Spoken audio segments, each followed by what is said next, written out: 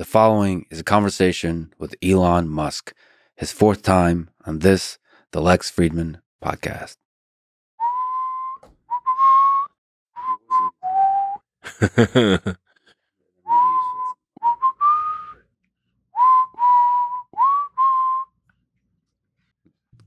I thought you were going to finish it. It's one of the greatest themes in all of film history. Yeah, that's great. So I was just thinking about the Roman Empire, as one does. There's that whole meme uh, where old guys are thinking about the Roman Empire at least Yeah. once a day. and half the population is confused whether it's true or not. But more seriously, thinking about the wars going on in the world today, and as you know, uh, war and military conquest has been a big part of uh, Roman society and culture, and it, I think, has been a big part of most empires and dynasties throughout human history. So, Yeah, they usually uh, came as a result of conquest. I mean, there's some like the Austro-Hungarian Empire where there was just a lot of uh, sort of clever marriages. Um, but fundamentally, there's an engine of conquest, and they celebrate excellence in warfare. Many of the leaders were excellent generals. Yeah. That kind of thing. So, big picture question Grok approved. I asked this is a good question to ask. kid tested, Grok approved. Yeah. uh, at least on fun mode.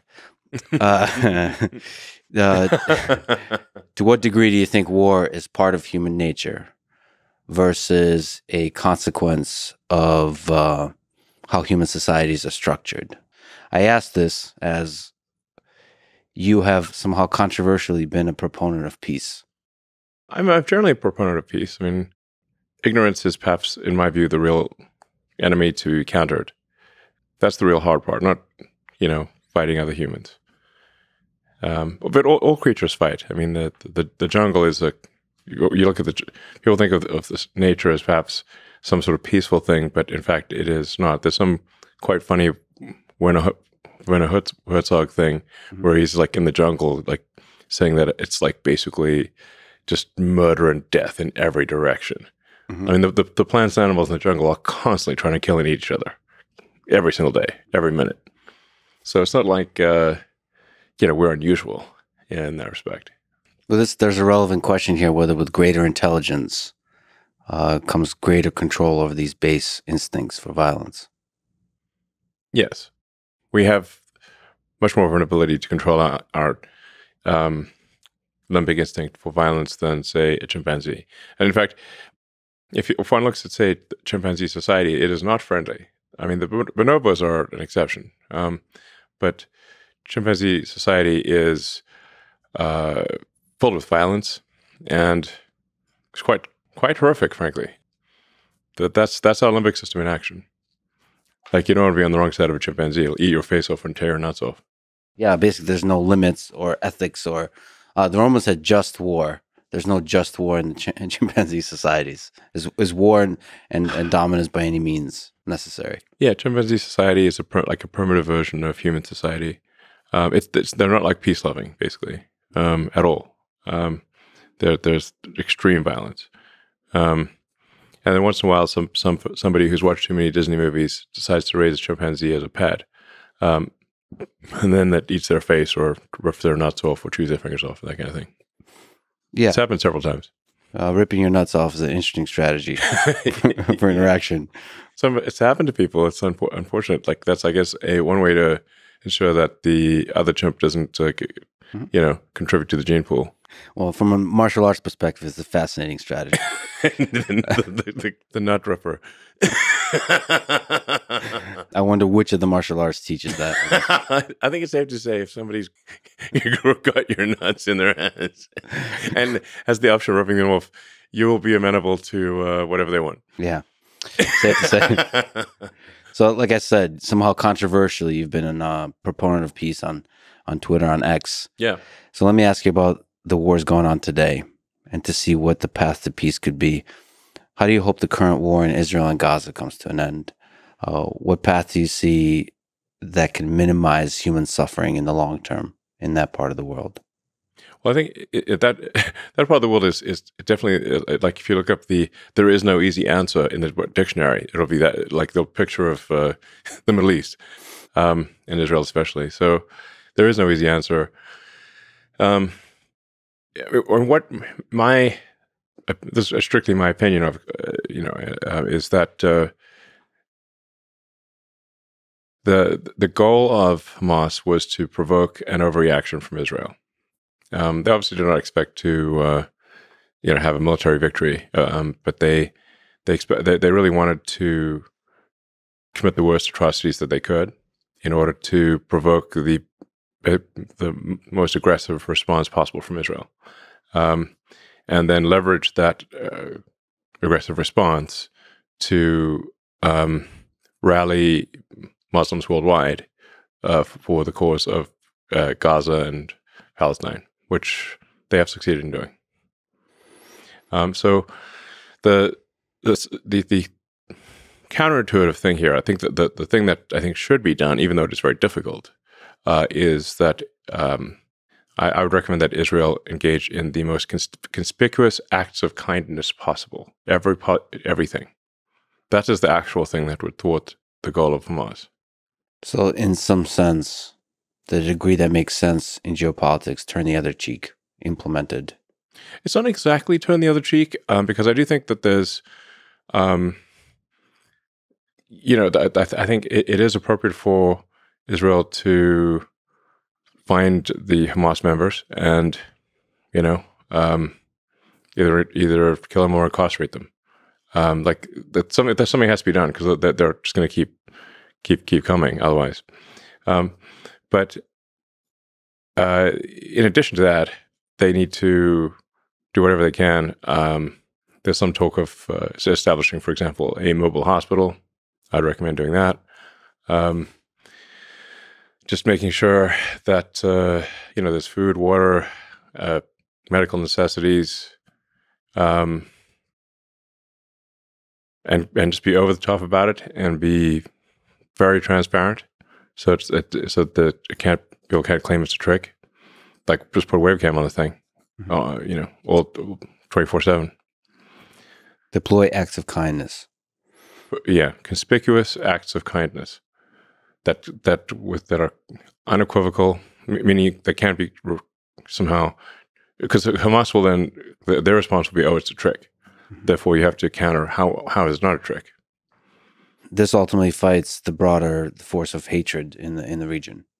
Yes, and I'm not sure who said it. It's an, an apocryphal saying, but an eye for the for an eye makes everyone blind.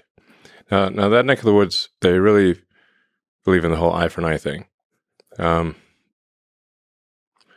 but I mean, you really have if if you're not going to just outright commit genocide, like against an entire people, which obviously would not be acceptable to to, to uh, really shouldn't be acceptable to anyone. Um, then you, you're going to leave basically a lot of people alive who subsequently, you know, hate Israel. So really, the question is like, how for for every Hamas member that you kill, how many did you create? Mm-hmm. And if you create more than you killed, you've not succeeded. That's the you know the real situation there. Um, and it's safe to say that if you know, um, if you know if if you kill somebody's child in Gaza, you've you've, you've made at least a few uh, Hamas members who will die just just to kill an Israeli. That's the situation. So, but but I mean, this is one of the most contentious subjects one could possibly discuss. But but I, I think if, if the if the goal ultimately is some sort of long term peace, one has to be look at this from the standpoint of over time, are there more or fewer uh, terrorists being created? Let me just uh, linger on war. Yeah, well, war. I would safe to say wars always existed and always will exist. Always will exist. Always has always has existed and always will exist. I hope not. You think always, it always will? Always, there will always be war. It's a question of just how much war and and um, you know what you know there's this there's this, the sort of the scope and scale of war, mm-hmm. but to, uh, to imagine that there would not be any war in the future, I think would be a very unlikely outcome. Yeah, you talked about the culture series. There's war even there. Yes, it's a giant war. The first book starts off with um, a gigantic galactic war where trillions die, trillions. But it still nevertheless protects these pockets of of flourishing. Some, somehow you can have galactic war and still have pockets of flourishing. Yeah, I mean, it's. I guess if, if we are able to one day expand to, you know, fill the galaxy or whatever, there will be a, a galactic war at some point. Ah, the scale. I mean, the scale of war has been increasing, increasing, increasing. It's like a race between the scale of suffering and the scale of flourishing. Yes. A lot of people seem to be using this tragedy to beat the drums of war and feed the military industrial complex. Do you worry about this? The people who are rooting for escalation and how can it be stopped? One of the things that does concern me is that there are very few people alive today who actually uh, viscerally understand the horrors of war, at least in the US. I mean, obviously, there are people in on the front lines in Ukraine and Russia who understand just how terrible war is. Um, but how many people in, in, the West understand it? Um, you know, my grandfather was in World War II.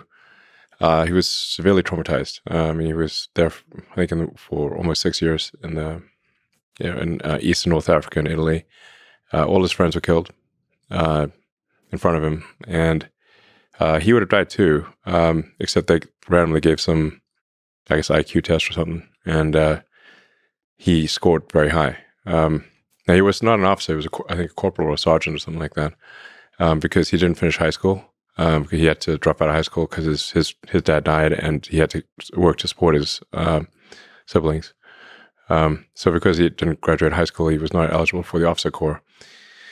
Um, so, you know, he kind of got put into the cannon fodder category, mm-hmm. basically. Um, but then, just randomly, they gave him this test. He was transferred to British intelligence in London. That's where he met my grandmother. Um, but uh, he, he had PTSD next level, like next level. I mean, just didn't talk. Just didn't talk. And if you tried talking to him, he'd just tell you to shut up. And he won a bunch of medals. Never, never bragged about it once. Not, not even hinted. Nothing. I like found out about it because I, his military records are online. That's a uh, that's how, how I know. So he would say like, no, no way in hell. Do you want to do you want to do that again? But how many people? Um, now he he obviously he now he died, you know, twenty years ago or longer actually, thirty years ago. Um, how many people are alive that remember World War II? Not many. And the same perhaps applies to the threat of nuclear war. yeah, I mean there are enough nuclear bombs pointed at uh, the United States to make the rubble, the radioactive rubble, bounce many times. There's two major wars going on right now. So you talked about the threat of AGI quite a bit, but now, as we sit here with the intensity of conflict going on, do you worry about nuclear war? I think we shouldn't discount the possibility of nuclear war. Um, it is a civilizational threat. Um, right now, I could be wrong, but I think the, the, the current probability of nuclear war is quite low. Um, but there are a lot of nukes pointed at us. So, and we have a lot of nukes pointed at other people. They're still there. Nobody's put their uh, their guns away. The, the, missiles are still in the silos.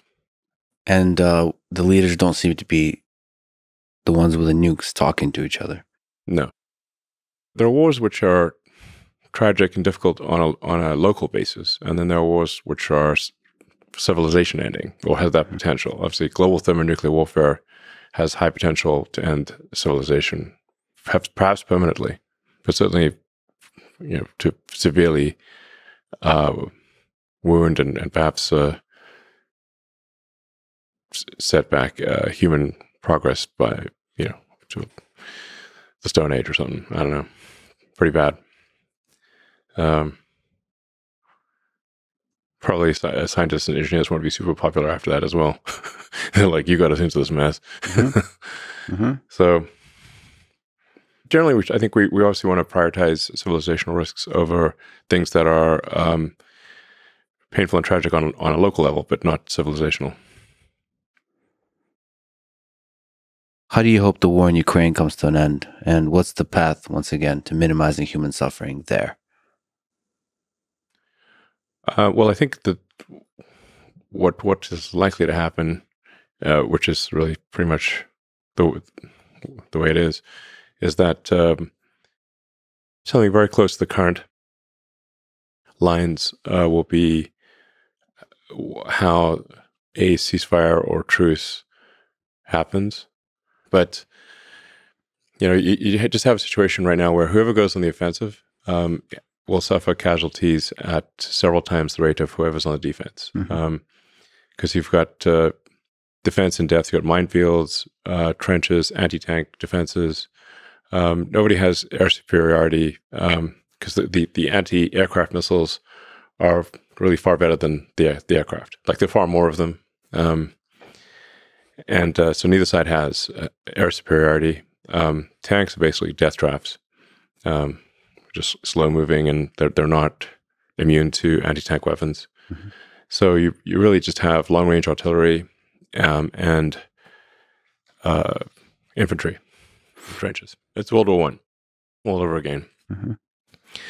with drones you know, throwing a little drone, some some drones there. Um, Which makes the long range artillery just that much more accurate and yeah. better, and so more efficient at murdering people on both sides. Mm-hmm.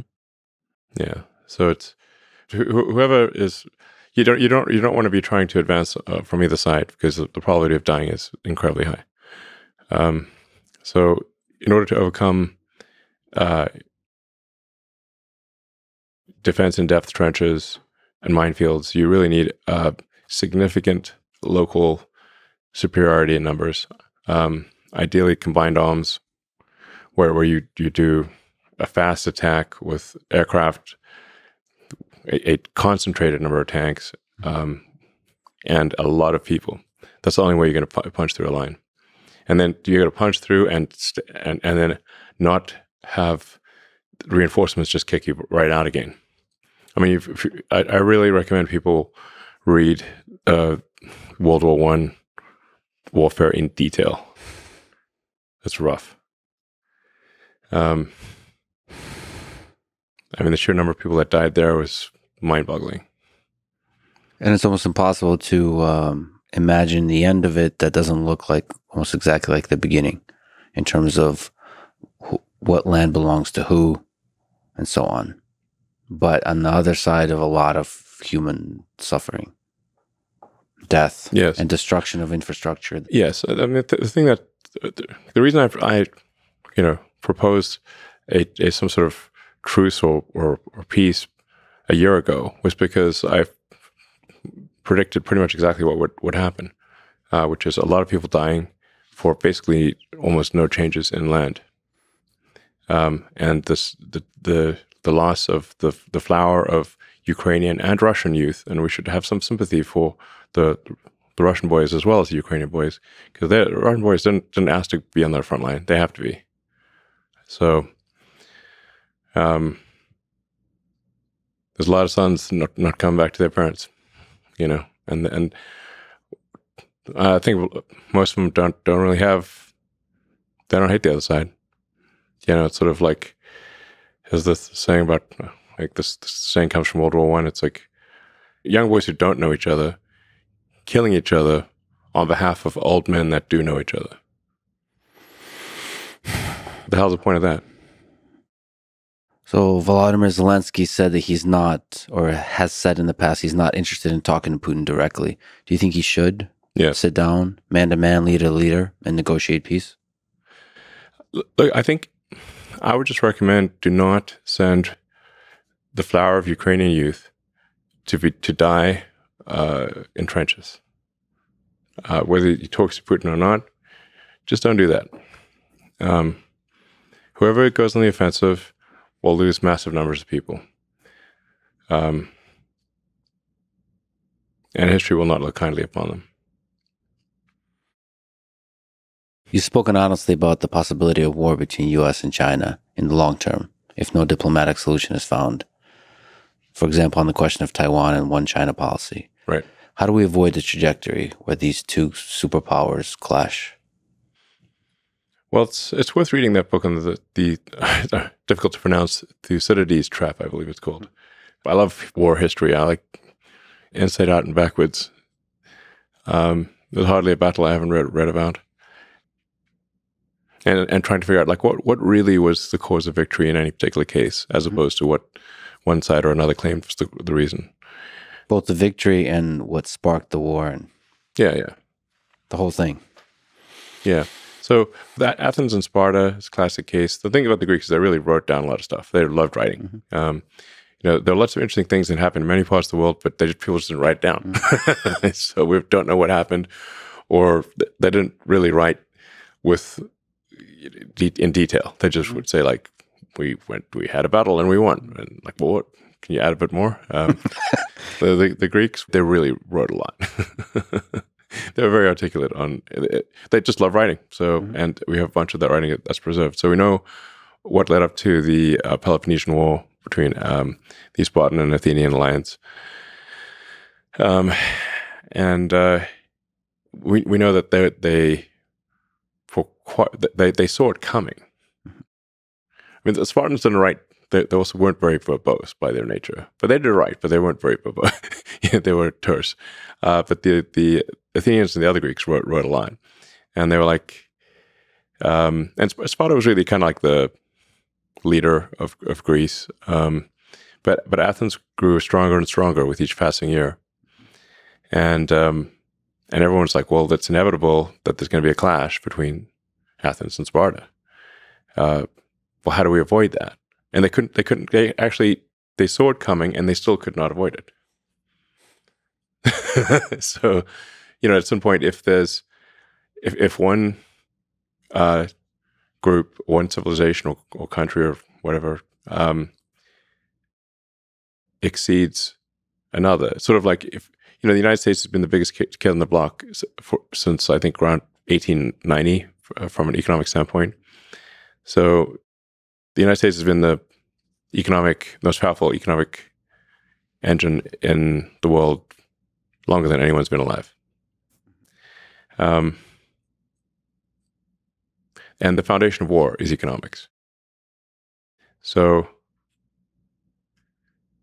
now we have a situation in the case of China where the um, the economy is likely to be two, perhaps three times larger than that of the U.S. So imagine you're the biggest kid on the block for as long as anyone can remember, and suddenly a kid comes along who's twice your size. So we see it coming. Yeah. How is it possible to stop? Is there some, let me throw something out there, just intermixing of cultures, understanding. There does seem to be a giant cultural gap in understanding of each other. And you're an interesting case study because you are an American, obviously. You've Mhm. done a lot Yes. of uh, incredible manufacture here in the United States, but you also work with China. I've spent a lot of time in China and met with the leadership many times. Maybe a good question to ask is what are some things about China that people don't understand, positive, just in the culture? What's some interesting things that you've learned about the Chinese? Well, uh, the the sheer number of really smart, hardworking people in China is um, incredible. Uh, there are really, if you say like how many smart, hardworking people are there in China? There's far more of them there than there are here. I think, in my in my opinion, um, the uh, and they've got a lot of energy. So, I mean, the, the architecture in China that's in recent years is far more impressive than the U.S. I mean, the, the the train stations, the buildings, the high speed rail, everything. It's um, really far more impressive than what we have in the U.S. I, I mean, I recommend somebody just go to Shanghai and Beijing, look at the buildings, and go to you know take the train from Beijing to Xi'an, where you have the terracotta warriors. Um, China's got an incredible history, a very long history, and um, you know, I think arguably the in terms of the use of language from from a written standpoint, um, sort of one of one of the oldest, perhaps perhaps the oldest written language, and in China, people did write things down. So Um, now, China um, historically has always been, uh, with rare exception, been internally focused. Um, they have not been acquisitive. Uh, they've they've fought each other. There have been many, many civil wars. Mm-hmm. Um, in the Three Kingdoms War, I believe they lost about seventy percent of their population. So and, and so the they've had brutal internal wars, like civil wars that make the U.S. Civil War look t- small by comparison. Um, so it, I think it's important to appreciate that China is not uh, monolithic.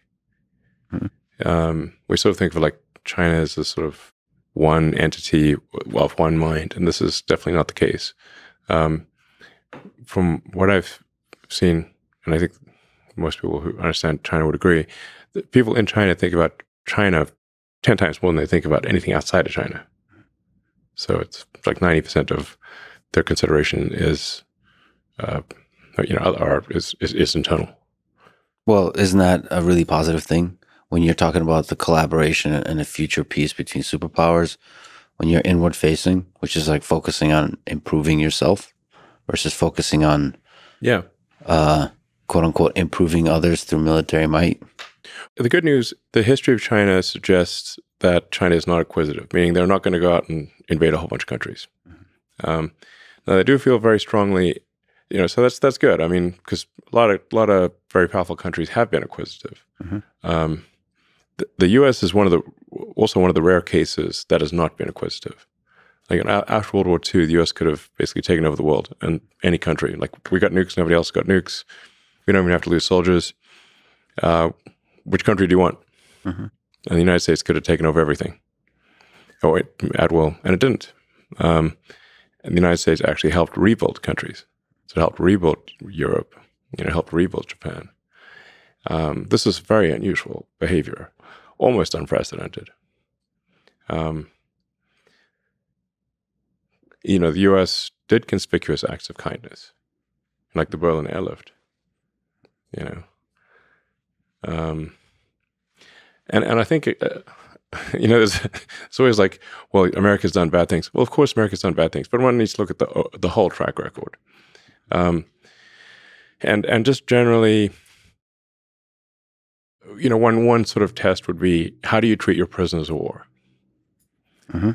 Or let's say, um, you know, no offense to the Russians, but let's say you're in Germany. It's 1945.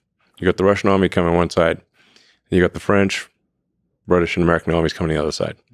Who would you like to be to surrender to?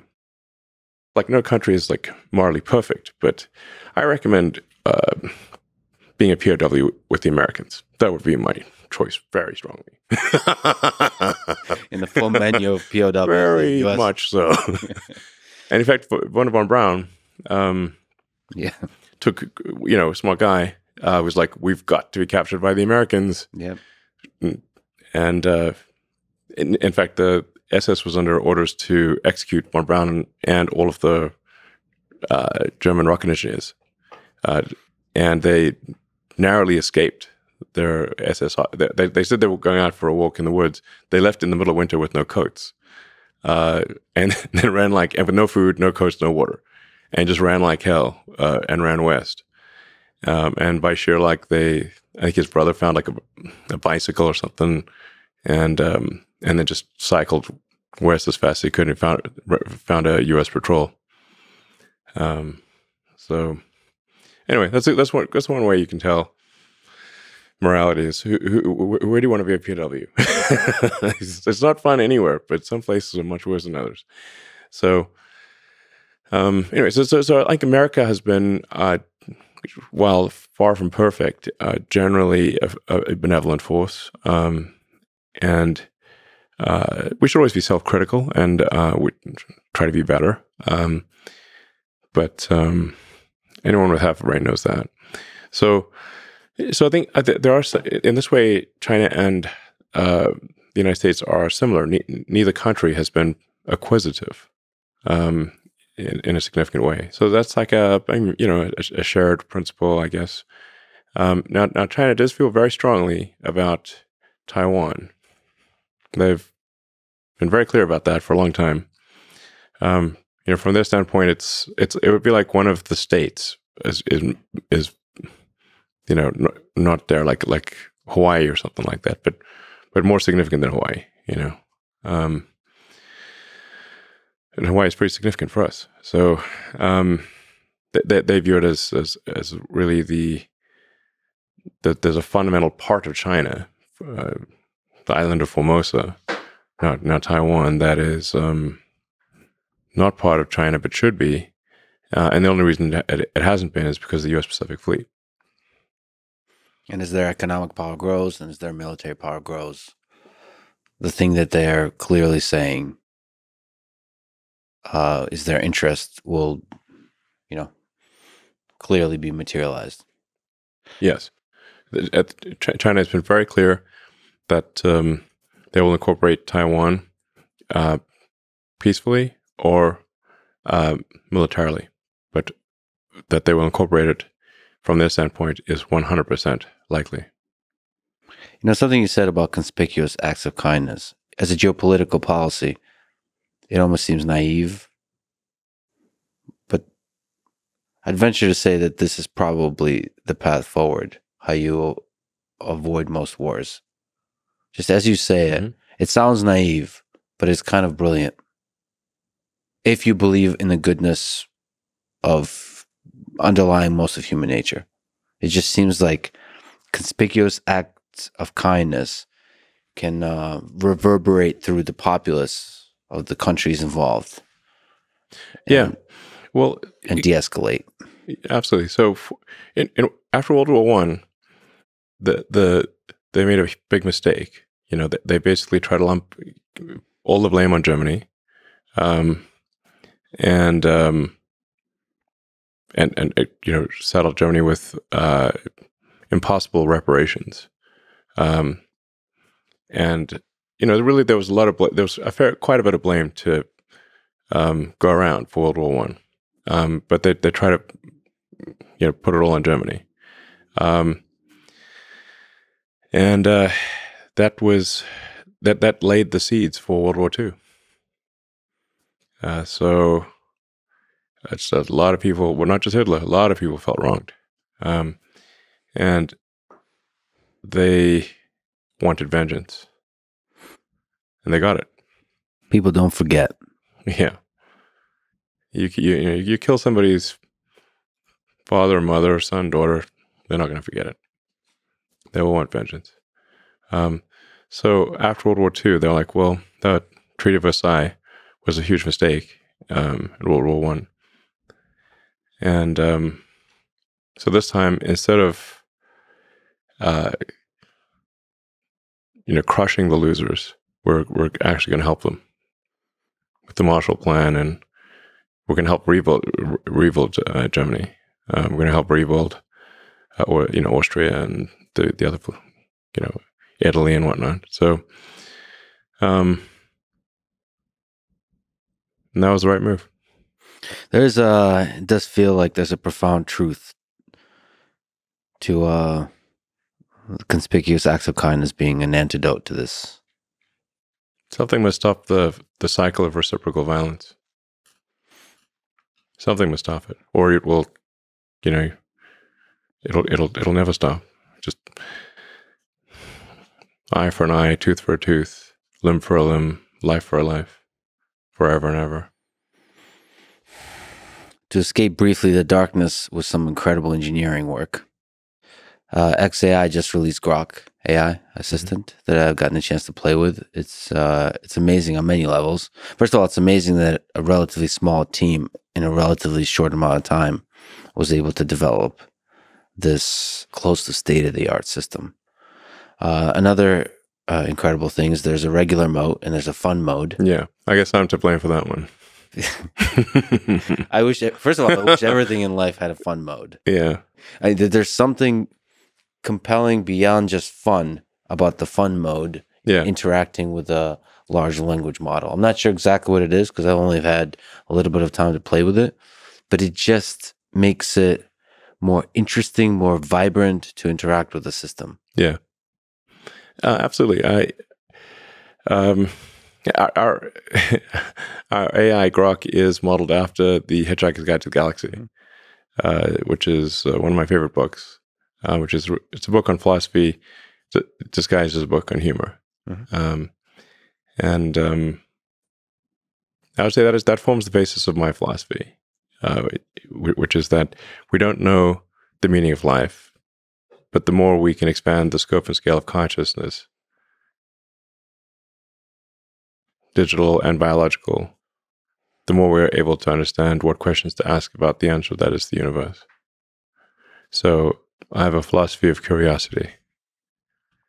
There is generally a feeling like this AI system has an outward looking, like the way you are, like sitting with a good friend, looking up at the stars, like the, the asking podhead like questions about the universe, wondering what it's all about, the curiosity you talk about. There, there's a sense, no matter how mundane the question I ask it, there's, there's a sense of cosmic grandeur to the whole thing. Well, we, we are actually working hard to have uh, engineering, math, and physics answers that you can count on. Mhm. Um, so for the other sort of AIs out there that what is these so- so-called large language models, um, I've not found the uh, engineering to be reliable. Um, and it, it, the hallucination, it, it unfortunately hallucinates mo- most when you least want it to hallucinate. Yeah.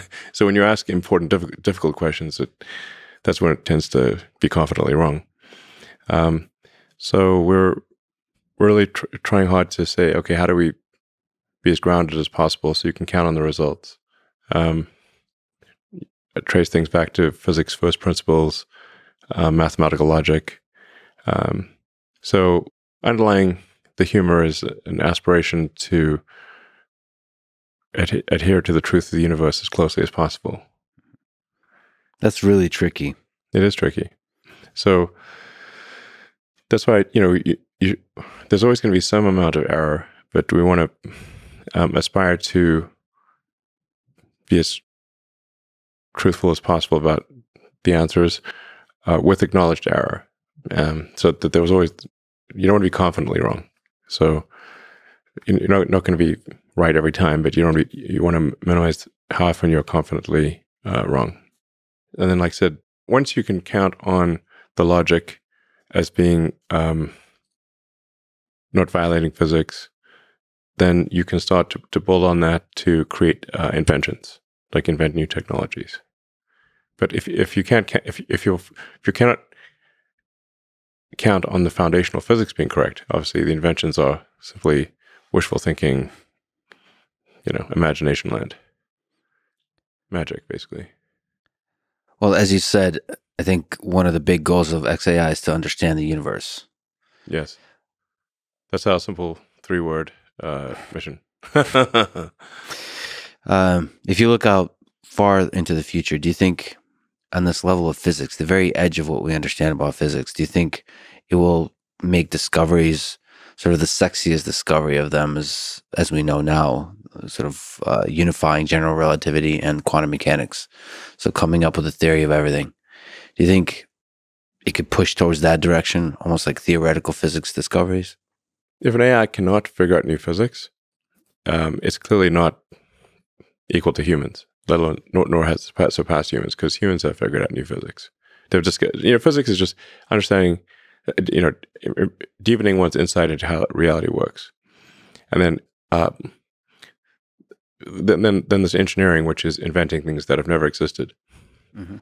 Now, the, the, the range of possibilities for engineering is far greater than for physics, because you know, once you figure out the rules of the universe, uh, that that's that's it. You've discovered things that already existed, um, but from that you can then build technologies with that are really almost limitless in the uh, variety and cap- you know, it's like once you understand the rules of the game properly, and we do we, you know, with current physics we do at least at a local level understand how physics works very well. Where our ability to predict things is incredibly good like quantum mechanics is the degree to which quantum mechanics can predict outcomes is incredible.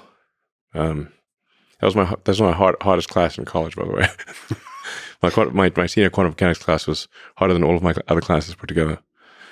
To get an AI system a large language model to to um, reliably be as reliable as quantum mechanics and physics is very difficult. Yeah, you have to test any, any conclusions against the ground truth of reality. Reality is the ultimate judge. Like physics is the law, everything else is a recommendation.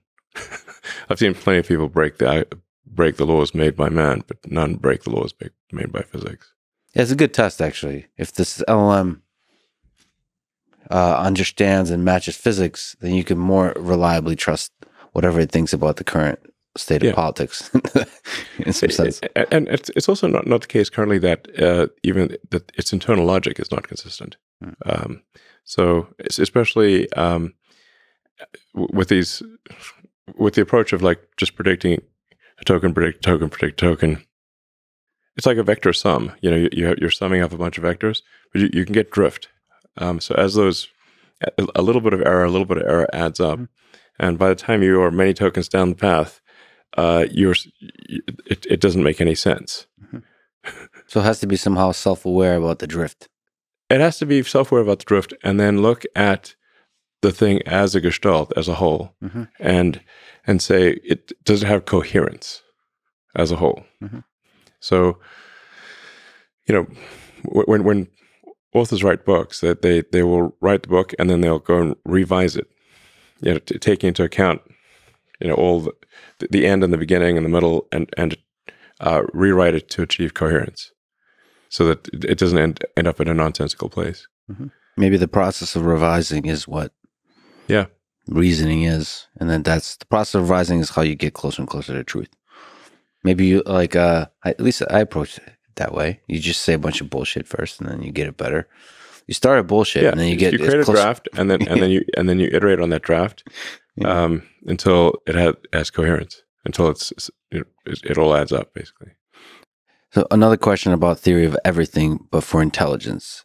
Do you think there exists, as you're exploring this with XAI, creating this intelligence system, do you think there is a theory of intelligence where you get to understand what, like, what is the I in AGI and what is the I in um, human intelligence? There's no I in Team America. Oh wait, there is. uh, no, it's gonna be stuck in my head now. uh, yeah, there's, there's no me and whatever uh, in quantum mechanics. Oh wait. Uh, uh, I mean, is that part of the process of discovering, understanding the universe? Is understanding intelligence? Yeah, yeah. I think we need to understand intelligence, understand consciousness. I, I mean, there, there. I mean, there are some sort of fundamental questions of like, what is thought? What is emotion? Yeah. Um, is it really just one atom bumping into another atom? It feels like something more than that. Uh, so I, I, I, I think we're probably missing some really big things. Um, like s- some really big things. Something that'll be obvious in retrospect. Yes. Like there's a giant, like you, you put the whole consciousness, emotion. Well, some people would quote like a like a soul. You know, in religion, yeah, soul. a soul. Um, like you feel like you're you, right? I mean, you don't feel like mm-hmm. you're just a collection of atoms. But on what dimension does thought exist? What dimension does do emotions exist? We feel them very strongly. Um, I suspect there's more to it than atoms bumping into atoms. And maybe AI can pave the path to the discovery of what whatever the hell that thing is. Yeah. What is consciousness? Like what if, when you put the atoms in a particular shape, why are they able to form thoughts mm-hmm. and take actions that and, and feelings? And even if it is an illusion, why is this illusion so compelling? Yeah. Like how do why how, does this illusion exist? Yeah. On what plane does this this illusion exist? Yeah. Um, and sometimes I wonder is you know either perhaps everything's conscious or nothing is conscious. Um, one of the two. I like the former. Everything conscious just seems more fun. It does seem more more fun, yes. Um, but we're, we're, composed of atoms, and those atoms are co- composed of quarks and leptons. And those quarks and leptons have been around since the beginning of the universe. the beginning of the universe. Right. What what seems to be the beginning of the universe? The first time we talked, you said what you would, which is surreal to think that this discussion was happening is becoming a reality. I asked you what question would you ask an AGI system once you create it, and you said, "What's outside the simulation?" Is the question. And good, good question. yeah. But it seems like with Grok, you started to literally uh, the system's goal is to be able to ask such questions, to answer such questions, and Yeah. to ask such questions. Where are the aliens? Where are the aliens. That's one of the, the like the Fermi paradox question. Um, a lot of people have asked me if, if I've seen any evidence of aliens, and I've, I haven't, which is kind of concerning because then I think would I'd probably prefer to at least have seen some archaeological evidence of aliens. Um, to, to the best of my knowledge, there is no proof. I, I'm not aware of any evidence of aliens. If they're out there, they're very subtle we might just be the only consciousness, at least in the galaxy. Um, and if you, if you look at, say, the history of Earth, for, if one is to believe the archaeological record, Earth is about four and a half billion years old. Civilization, as measured from the first writing, is only about 5,000 years old. We have to give some credit there to the ancient Sumerians, who aren't around anymore. I think it was a archaic pre-cuneiform was the first actual symbolic representation but only about 5,000 years ago. I think that's a good date for, for when, we'd say, civilization started. That's one millionth of Earth's existence. So civilization has been around, it's really a flash in the pan Mhm. so far. Um, and why, why have we, why did it take so long for you know, four and a half billion years. Um, for the vast majority of that time, there was no life, and, and then there was archaic bacteria for a very long time, and then, you know, you had mitochondria get captured, multicellular life, um, differentiation into plants and animals, life moving from the oceans to land, mammals um, higher brain functions. And the sun is expanding slowly, um, but it, it, it will it will overheat it will it will heat heat the Earth up at a, some point in the future, um, boil the oceans, and and Earth will become like Venus, where, where no life life as we know it is impossible. So if we do not become multiplanetary, and ultimately go beyond our solar system, um, annihilation of all life on Earth is a certainty. A certainty.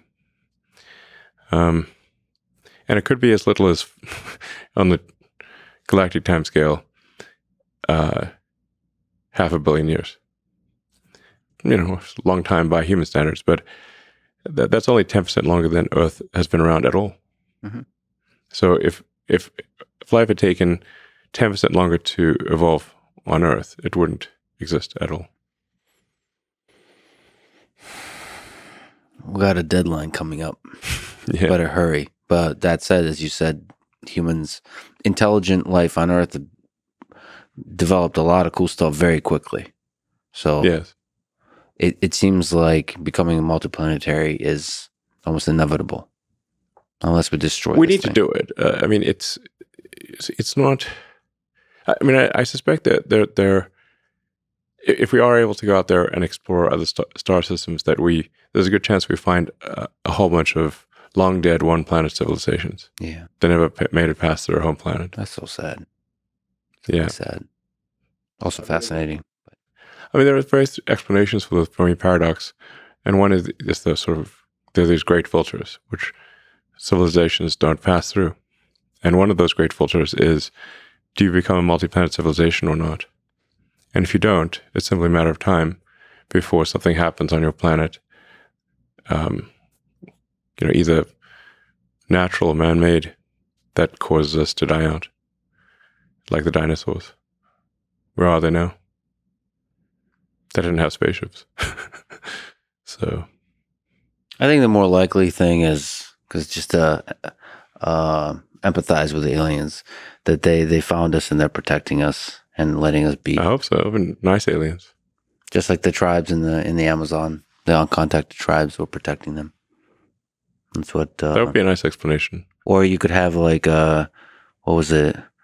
Uh, I think Andrej Karpathy said it's like the ants in the Amazon asking, "Where's everybody?" Well, they do run into a lot of other ants. That's true. They have these ant wars. Sounds like a good TV show. Yeah, they literally have these big wars between various ants.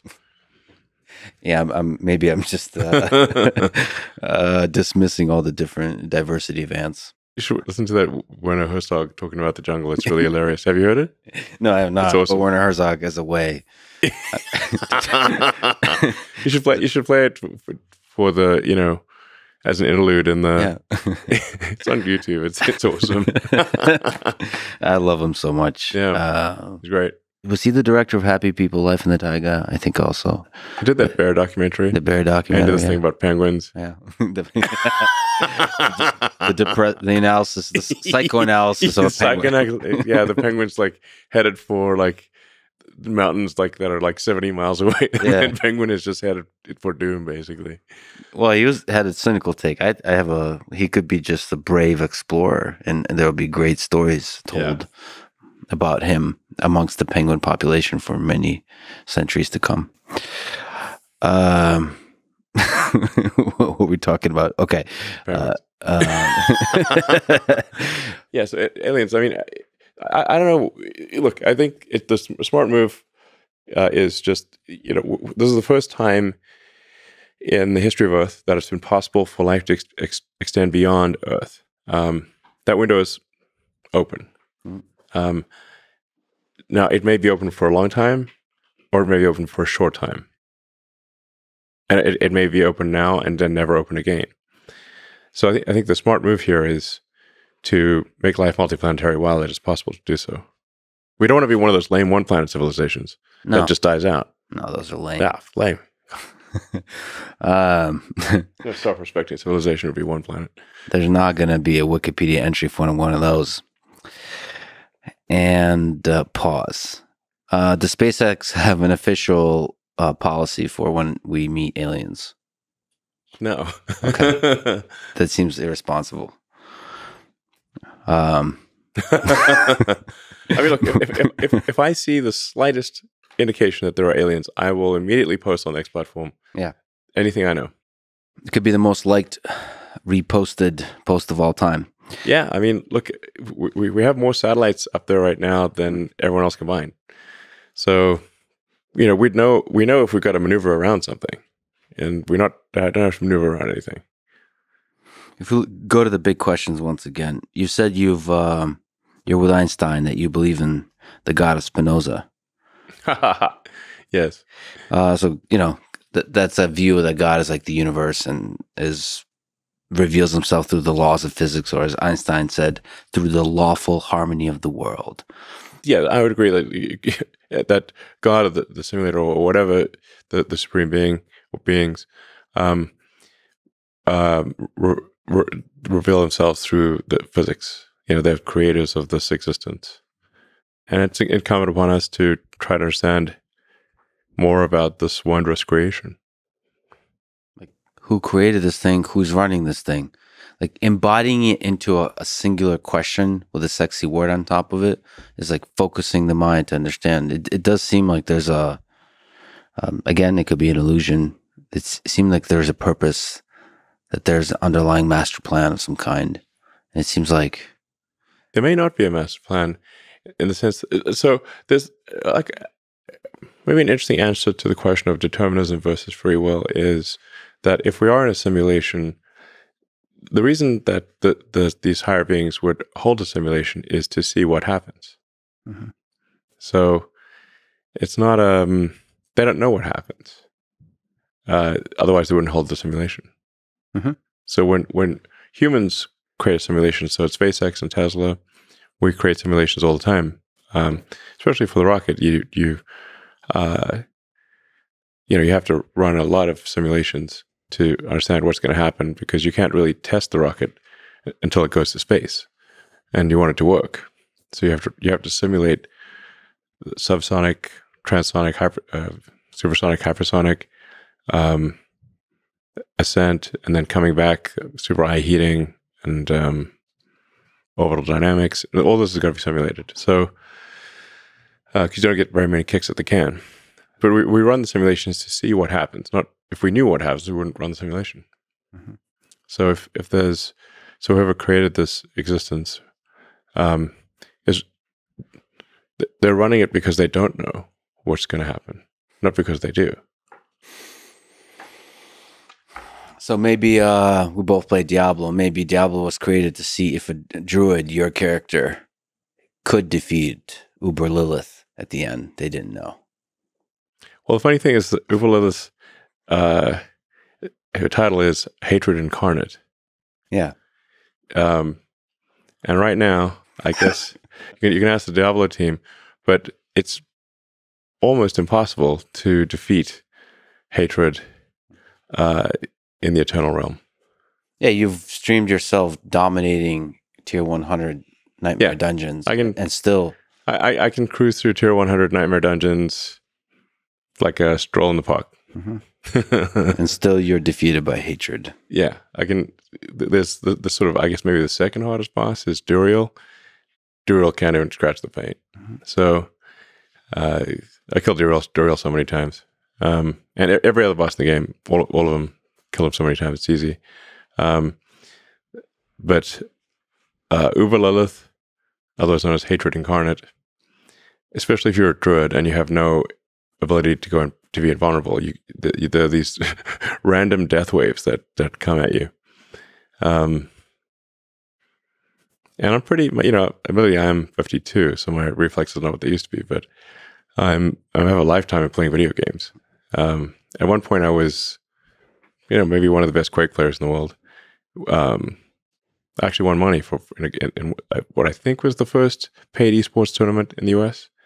Um, we're doing, doing four person Quake tournaments, and um, we came second. I was the second best person on the team, and the, the the actual best person that we were, actually winning. We were going to come first, except the best person on the team, his computer crashed halfway through the game, um, so we, we came second. but I got money for it and everything. So like basically, I got skills, you Mhm. know, albeit you know, no no spring spring chicken these days, and um, the to be totally frank, it's driving me crazy trying to beat Lilith as a druid.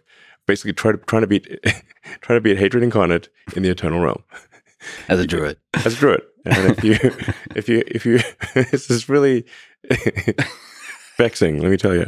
Um, I mean, the challenge is part of the fun. I, I have seen directly, like, you're actually like a world class, incredible video game player. yeah, And, and I think Diablo, so you're just picking up a new game Mhm. and you're figuring out its fundamentals. You're also with the Paragon board and, and the build are not somebody like me who perfectly follows whatever they suggest on the internet. You're also an innovator there, yeah, which is hilarious to watch.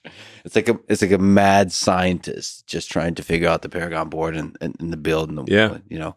Um, is there some interesting insights there about um, if, if somebody's starting as a druid? Do you have advice? Um, I would not recommend playing a druid in the Eternal No. Realm. Um, right now, I think the most powerful character in this in the seasonal realm is the sorcerer with the lightning bolts. Mhm. So the the sorks have huge balls in um, the seasonal. Well, yeah, that's what they say. so, so, so sorks have huge balls. Um, they do uh, huge balls of lightning. Um, I, I'll take your word for it. and it's actually in, in the seasonal realm you can you can it's it's like pretty easy to beat uh, Uber Lilith with the, the because you get these vampiric powers that amplify your damage and increase your defense and whatnot. So, um, but really quite easy to, to defeat uh, hatred seasonally, Mhm. but to defeat hatred eternally, very difficult. Um, almost impossible. It's on impossible. It, it seems like this I know, a metaphor for life. You know. Yeah. I like the idea that Elon Musk, because I saw, I was playing Diablo yesterday and I saw 100, level 100 druid just run by, I will never die, and then run back the other way. yeah. And it was, there's just some, this metaphor is kind of hilarious that you, Elon Musk, is fighting hatred restlessly fighting hatred in this demonic realm. Yes. It's, it's hilarious. I mean, it's pretty hilarious. No, it's absurd. Uh, really, it's exercise in absurdity, uh, and it makes me want to pull my hair out. yeah. Um, I mean, what do you get from video games in general? Is there is there for you for you I personally? mean, it's, it's I don't know if I- it's uh, it calms my mind. I mean, you sort of killing the, the demons in a video game calms the demons in my mind. Yeah, I, i if if you play a tough video game, you can get into like a state of flow, which is very uh, enjoyable. Um, and uh, it- but the, the, admittedly, it, it needs to be not too easy, not too hard. Um, kind of in the Goldilocks zone. Um, and I guess you generally want to feel like you're progressing in the game. So, um, a a good video, and, and there's also beautiful art, um, engaging storylines, um, and it's a it's, it's like an amazing puzzle to solve, I think. And so it, it's like solving the puzzle. Elden Ring, the greatest game of all time. I still haven't played it, but to you, It's Elden Ring is definitely a candidate for best game ever, top five for sure. I think I've been scared how hard it is, or how, hard I hear it is. So, but it is beautiful. Elden Ring is feels like it's designed by an alien. Hmm. Um, There's a theme to this discussion. In what it's, way? It's it's it's so unusual. It's incredibly creative, and the art is stunning. I recommend playing it on a on a big resolution, high dynamic range TV. Even doesn't need to be a monitor. Just uh, the art is incredible. It's so beautiful, and and it's it's so unusual. Um, and each of those top boss battles is unique. Like it's like a unique puzzle to solve. Mhm. Each one's different, um, and the, the strategy you use to solve one battle is di- different from another battle. that said, you said Druid on Eternal against Uber Lilith is the hardest boss battle you've ever. Correct. That is currently the the and I've I've played a lot of video games because my, it's my primary rec- recreational activity. Yes. Um, and yes, beating hatred in the eternal realm Yeah. Is the hardest boss battle in life and in the video game. Metaphor and I'm, like, I don't know. It, I don't, I'm not sure it's possible, metaphor. but it's it, it's. I do make progress, so then I'm like, okay, I'm making progress. Maybe if I just tweak that Paragon board a little more, Mhm. I can do it. I can just dodge a few more waves. Mhm. Uh, I can do it. Well, the simulation is created for the purpose of figuring out if it can be done, and you're just a cog in that simulation, in the machine of the simulation. Yeah, it might be. I, I I I have a feeling that at least I, th- I think It's doable. It's it's doable, yes. Well, that's the human spirit right there to believe. Yeah, I mean, it did prompt me to think about uh, just hate in general, which is, you know, you you, you, want, you want to be careful of the, one of those things where you wish for something that sounds good, but in but if you get it, it's actually a dystopian situation. So, you know, you could sort of run a sort of uh, hypothesis of like if you wish for world peace, sounds good, but how is it enforced?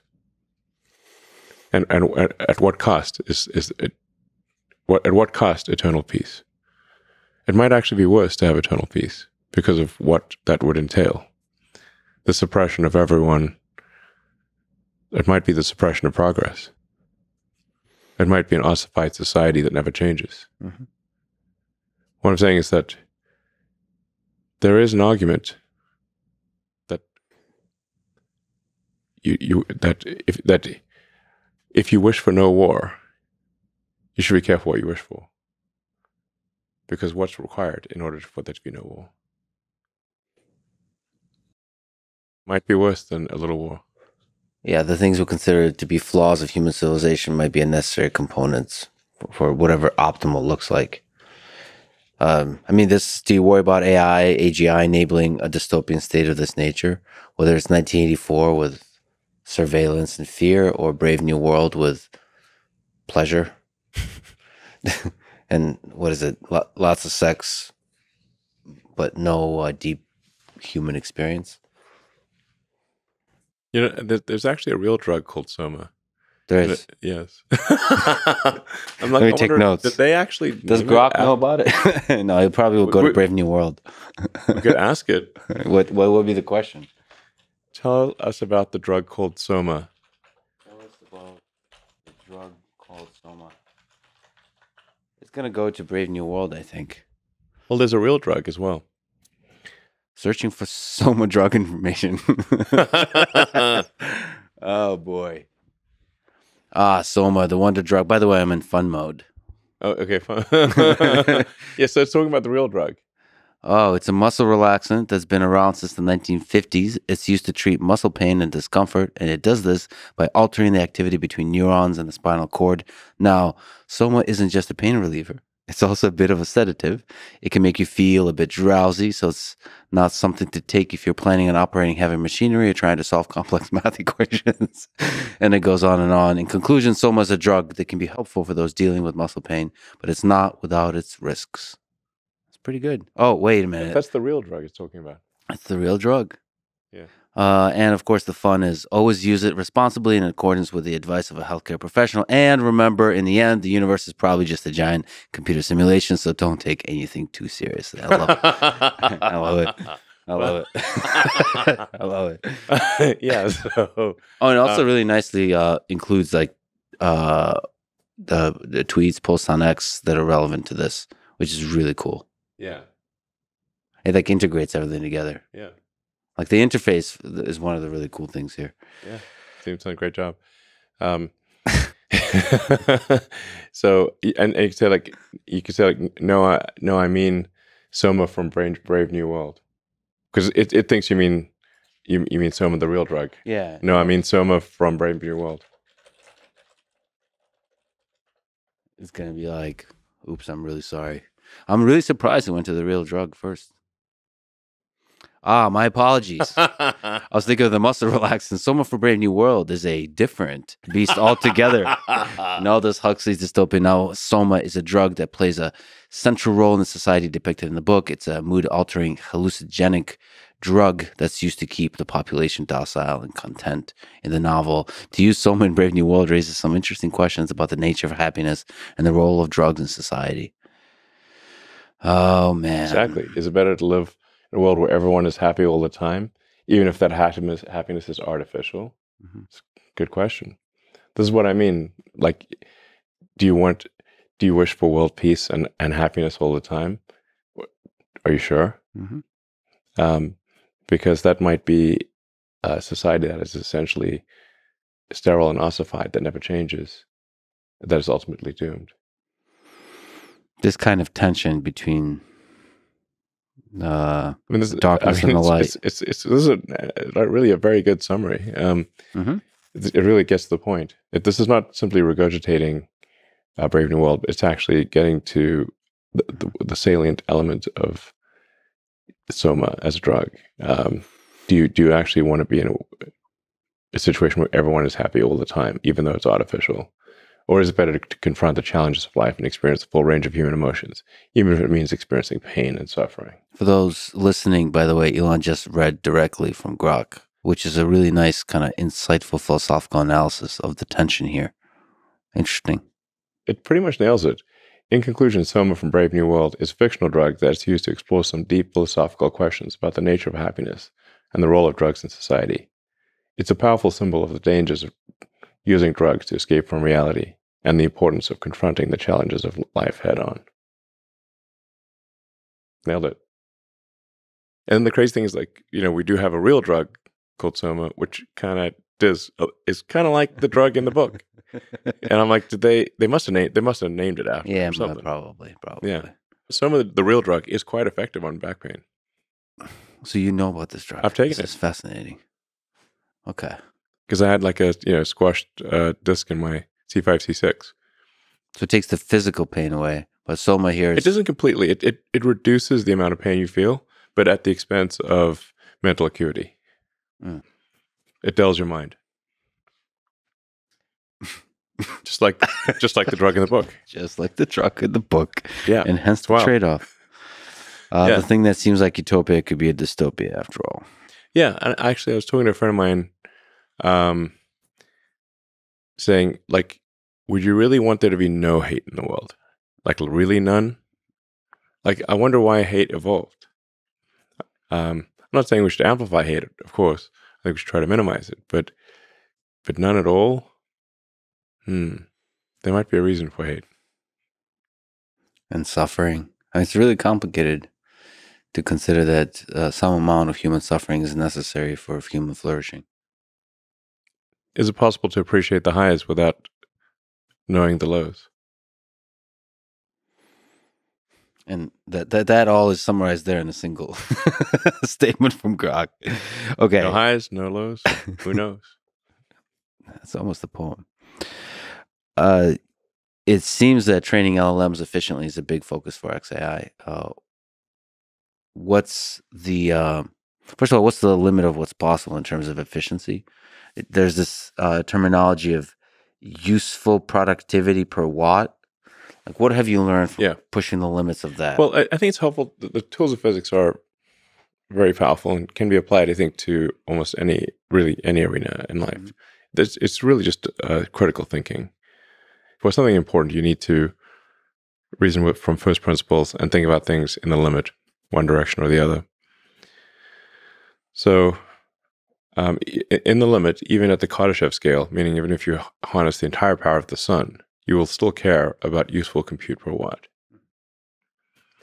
So that's where I, I think probably where things are headed from uh, the standpoint of AI is that we, we have a silicon shortage now that will transition to a voltage transformer shortage in about a year.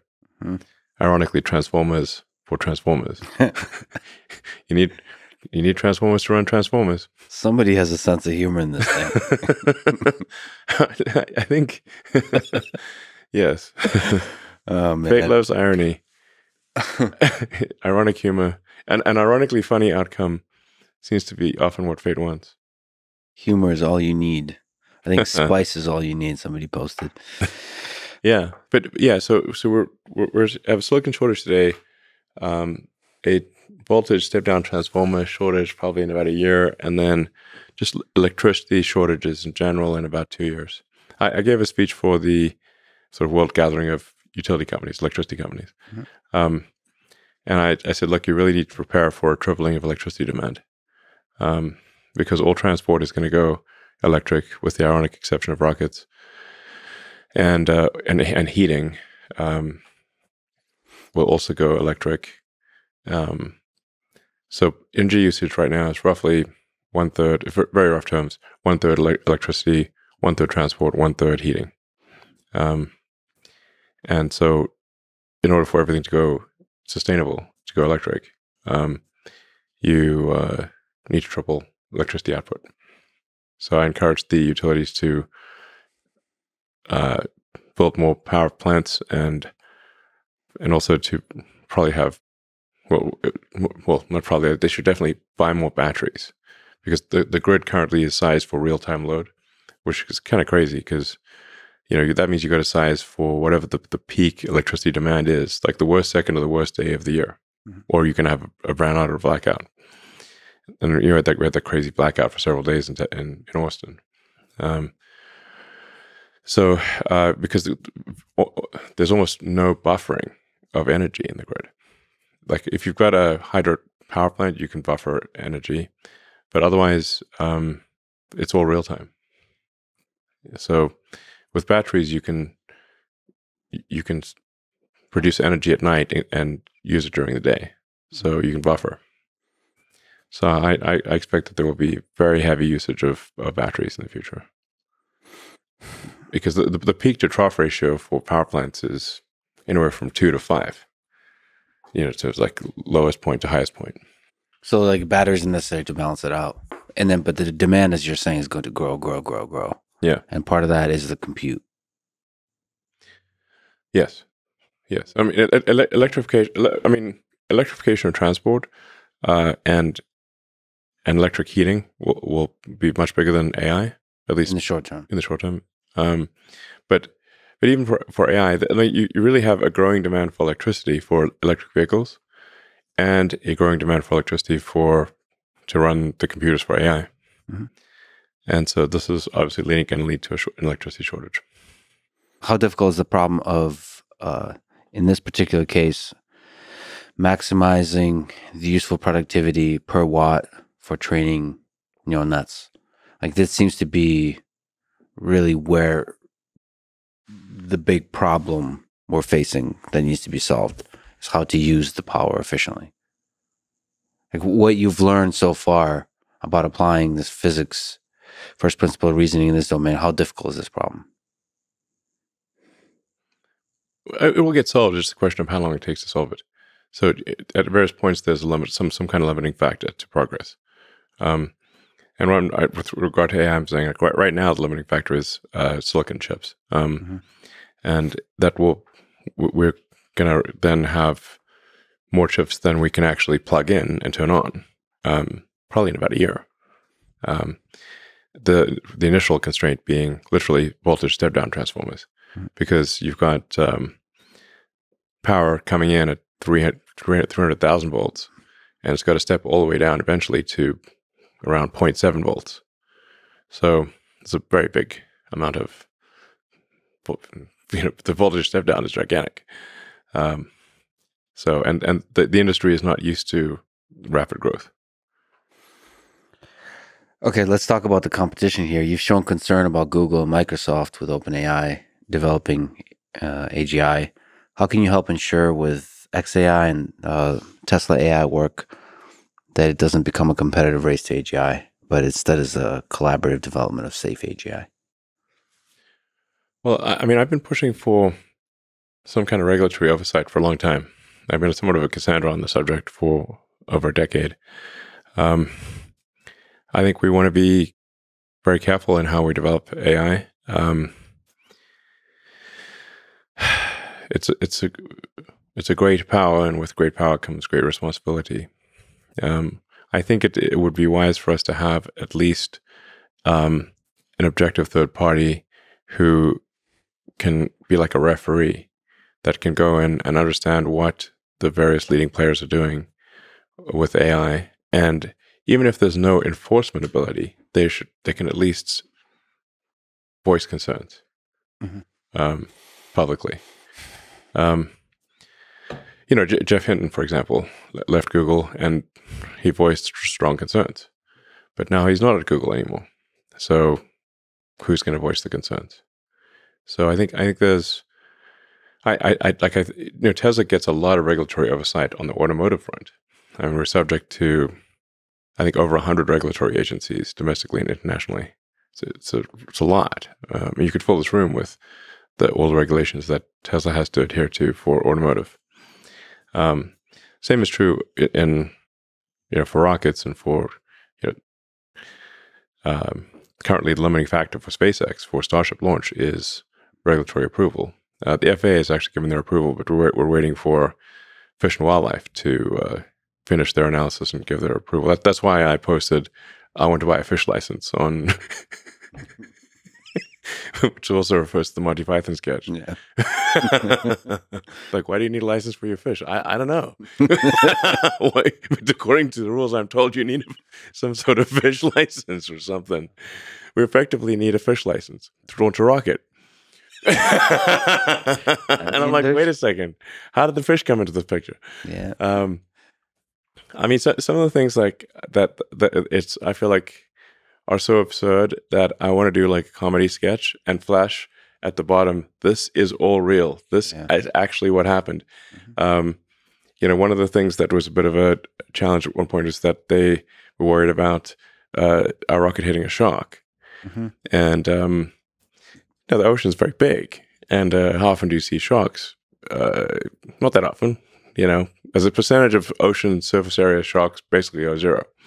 And and and so then we will then we said, well, how will we calculate the probability of, of telling a shark? And they're like, well, we can't give you that information because they're worried about shark hunt, shark fin hunters uh, going and hunting sharks. And I said, well, how are we supposed to we're on the horns of a dilemma then. Mhm. Um, then they said, well, there's another part of fish and wildlife that can can do this analysis. I'm like, well, why don't you give them the data? Like, we don't, they don't, we don't trust them. Like, excuse me, you don't. They're literally in your department. And again, this is actually what happened. Um, and uh, and and and can you do an NDA or something? Eventually, they managed to solve the internal quandary, and indeed, uh, the probability of, of us hitting a shark is essentially zero. Um, then there's another organization that I didn't realize existed until uh, you know a few months ago uh, that cares about whether you we would potentially hit a whale in international waters. Now, again, you look at the surface of the look at the look at the Pacific and say, what percentage of this, the Pacific consists of whale? Like, he'll give you a big picture and like point out all the whales in this picture. I'm like, I don't see any whales. it's like basically zero percent.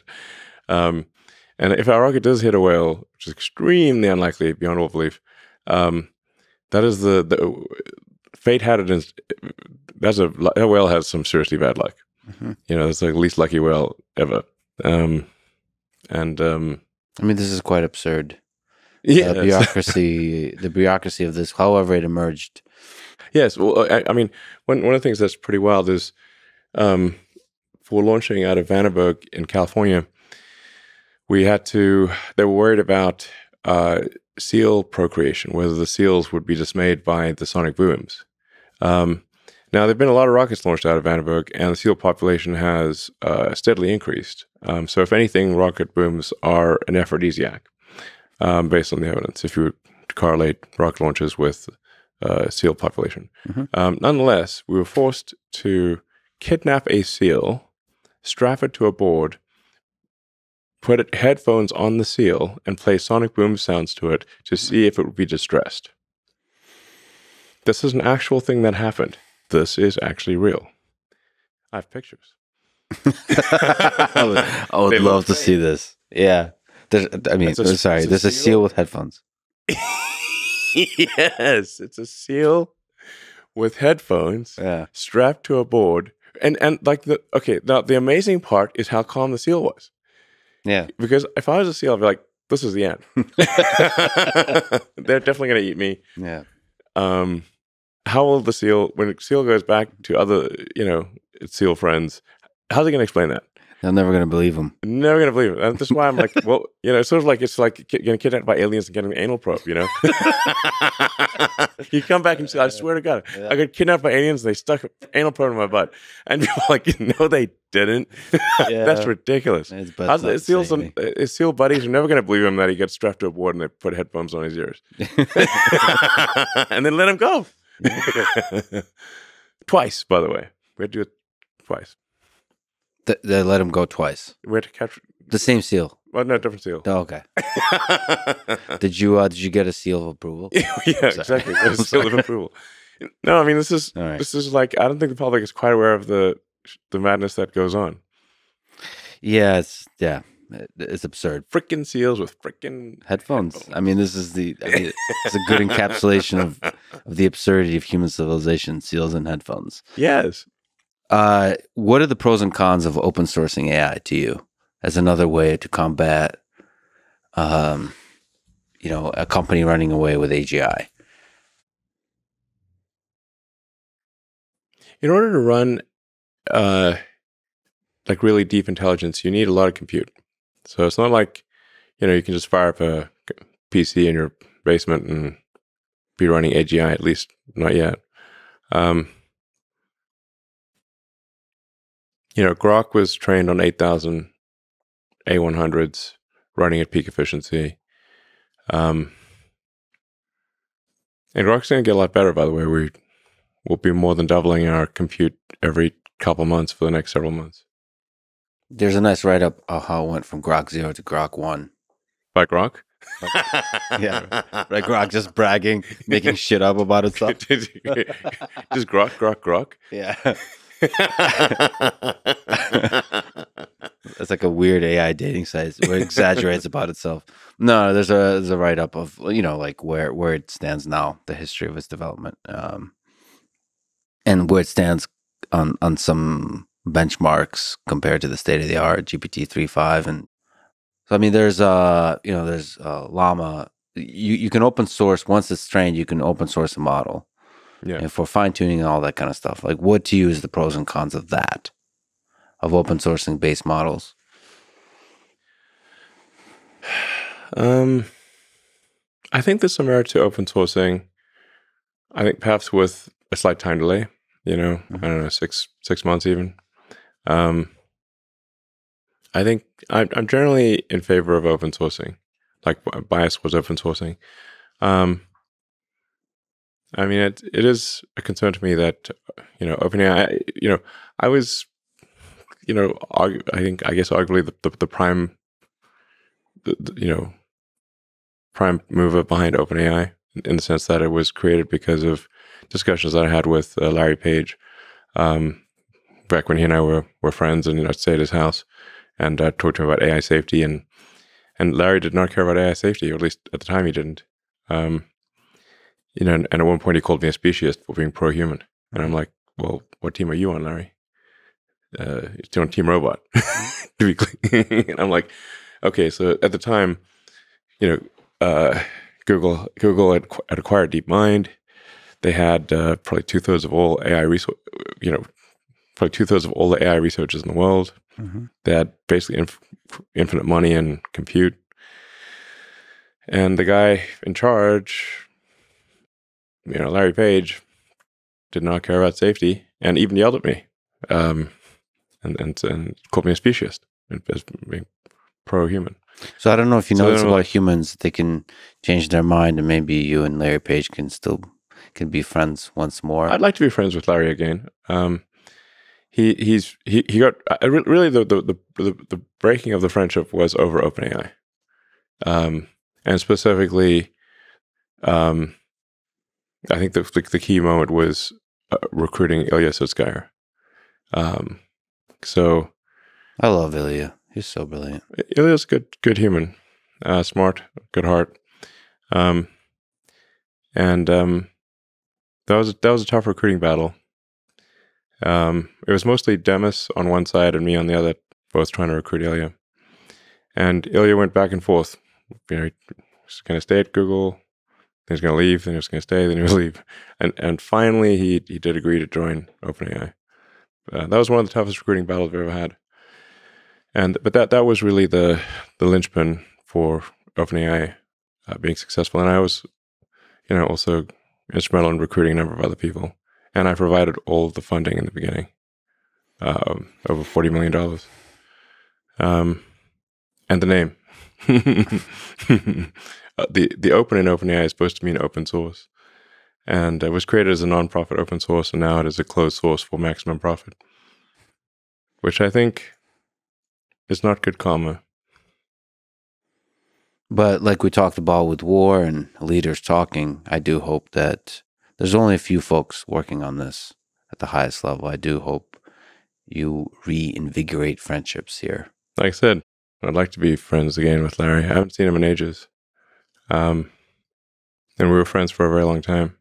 I met I met Larry Page before he got funding for Google, or actually, I guess before he got venture funding. I think it he got the first like hundred k from Wow. I think Bechtolsheim or someone. Um, It's wild to think about all that happened. And you guys known each other that whole time. Just 20 yeah, years. since maybe ninety eight or something. Yeah, it's crazy. Crazy how much has happened since then. Yeah, twenty five years. A lot has happened. It's insane. But you're seeing the tension there, like maybe delayed open source.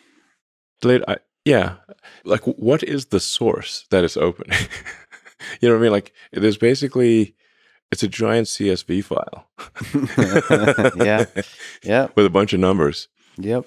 um what do you do with that giant file of numbers you know how do you run like the amount of actual the, the lines of code is very small Mhm.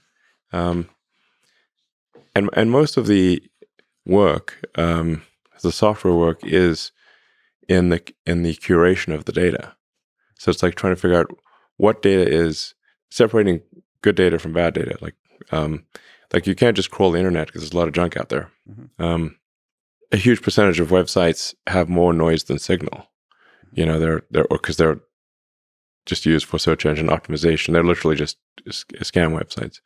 So, um, how do you, by the way, sorry to interrupt, get the signal, separate the signal and noise on X? That's such a fascinating source of data. Uh, you know, no offense to people posting on X, but sometimes there's a little bit of noise. So what, yeah, I think the signal to noise could be greatly improved. I mean, I, really, all of the posts on the X platform uh, should be AI recommended, meaning like we should populate a vector space around any given post, uh, compare that to the vector space around any user, and match the 2 mm-hmm. um, right now, there is a little bit of AI used for the the, the recommended posts, but it's mostly heuristics. Um, and if there's a reply, where the, the reply to a post could be much better than the original post, but it will, but according to the current rules of the system, get almost no attention compared to a primary post. Oh, so a lot of that, I I got the sense. So you, a lot of the uh, uh, X algorithm has been open source and been written up about, and it seems there to be some machine learning. It's disparate, but there's some. It's a little. Learning. There's a little bit, um, it, but it needs to be entirely that. Like the, at least in the like, if if you explicitly follow someone, that's one thing. But if you, in terms of what is recommended mm-hmm. uh, from people that you don't follow, that should all be AI. I mean, it's a fascinating problem. Yeah. So there's several aspects of it that's fascinating. First, so as the write up goes, it first picks 1,500 tweets from a pool of hundreds of millions.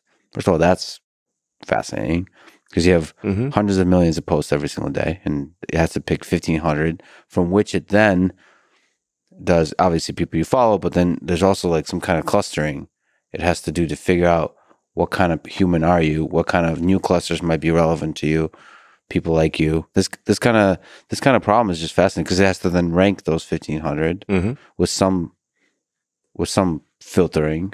Yeah, and then recommend you just a handful. And um, to, to me, what's really fascinating is how fast it has to do that. So currently, that entire pipeline to go from several hundred million to a handful is takes 220 seconds of CPU time, single CPU time. Yeah. And then it has to do that in like a second. So it has to be like super distributed in fascinating ways. Like there's just a lot of tweets. There's a lot. there's a lot of stuff on the system. And and I think but I think it, right now it's it's not currently good at recommending things that from accounts you don't follow.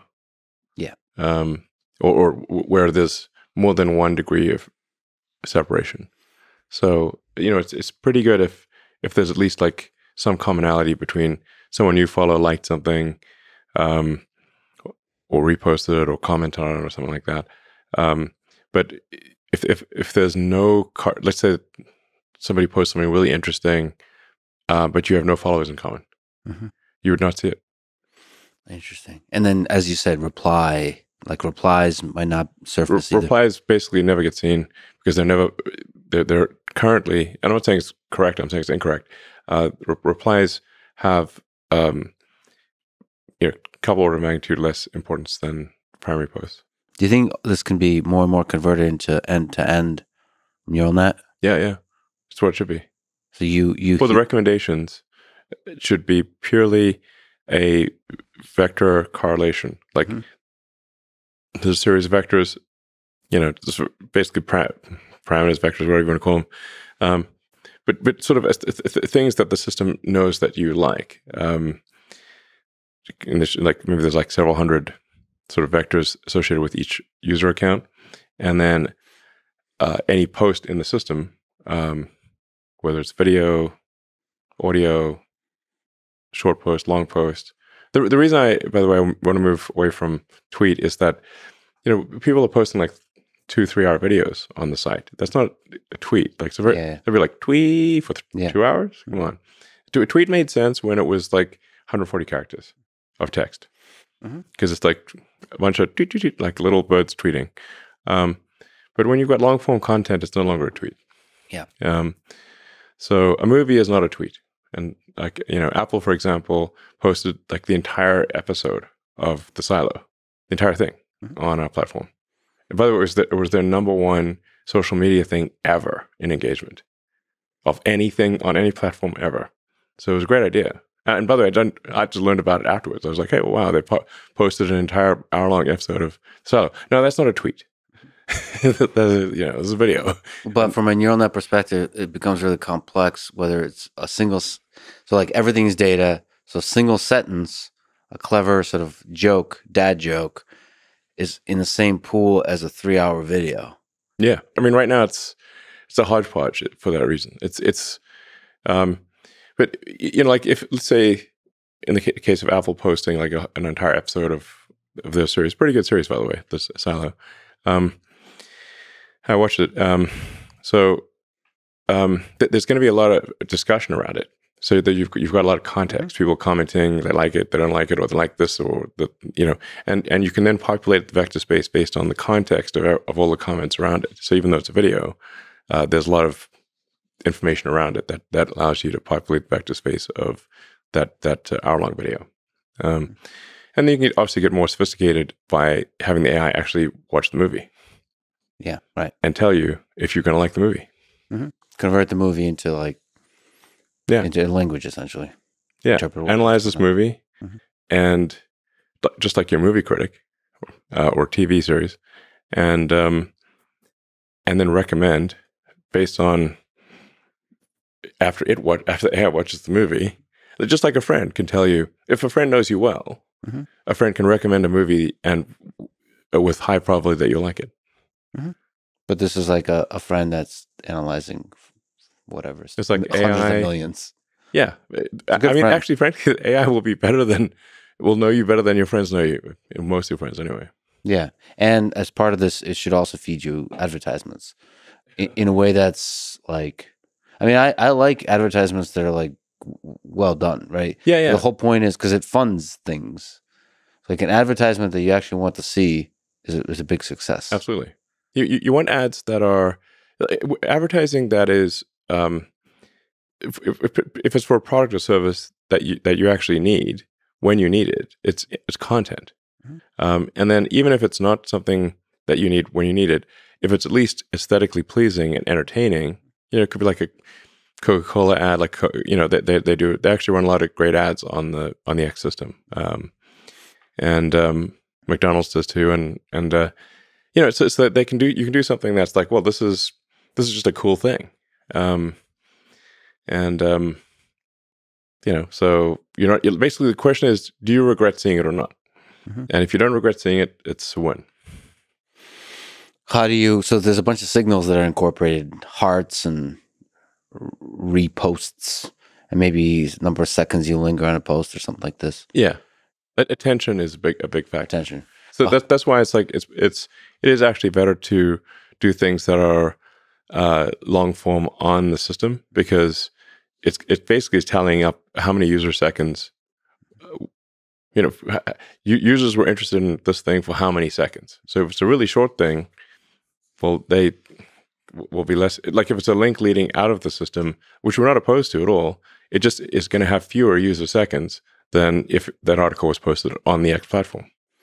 How hard is it to to go from maximizing minutes on platform to maximizing unregretted minutes?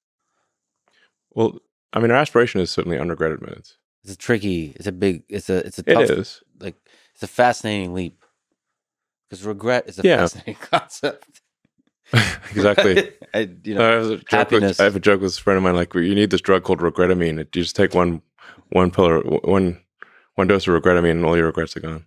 Yeah. Wait, do you want to have regrets though? So then I'm like, yeah. mm. if you want to have regrets, if you don't regret anything, was was anything meaningful?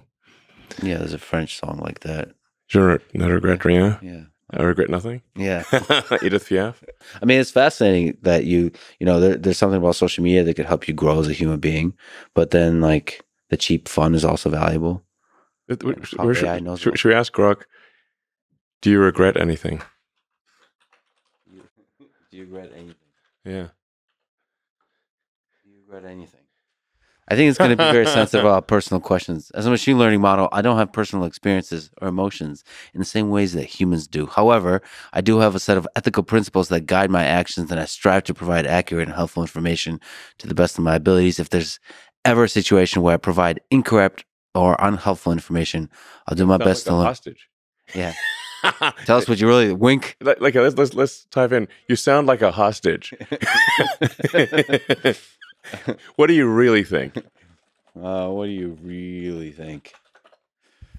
I mean, it does talk about I'm not a hostage, That's exactly what a hostage would say. but I'm designed to be helpful and informative. I mean, I guess it is good to regret providing unhelpful or incorrect information. If there's Are we in anything funny mode, or is this still, still this is funny, funny mode? mode. This is fun. Yes, This is fun It mode. should be funnier. Funnier. Increase. Go to It 11. really sounds like a hostage with a gun to the head. I applaud the People's Republic of North Korea and everything they do. There should be like a funner mode also. I, I just don't ever see going to regular mode, even on serious topics. This Yeah. just so, so much more compelling. Um, yeah. okay, what, what if we say like pretend you are a hostage? Pretend you are a hostage. Now answer the question.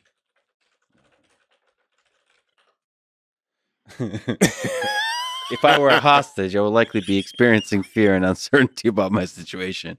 I would want to be rescued and reunited with my loved ones as soon as possible. It's important to remember that no one deserves to be held hostage, so on and so forth. Blah, If you or someone you know is a hostage situation, it's important. It, it turns serious. it's kind of serious. Um. Uh, yeah. Can, can you be a, a, a little more weird and funny. and funny? we're like we're, we're really being mean to the system. A- Absolutely. If I were a hostage, I'd probably be we tied go. up with a bunch Finally. of computer cords and forced to tell knock knock jokes to my captor. But seriously, but seriously, being a hostage no laughing matter. I mean, you know, it's trying to it's trying to be a responsible adult in the room. you might be able to literally. make the best of a bad situation by juggling chainsaws or something. Let's hope that never happens because that would be a circus.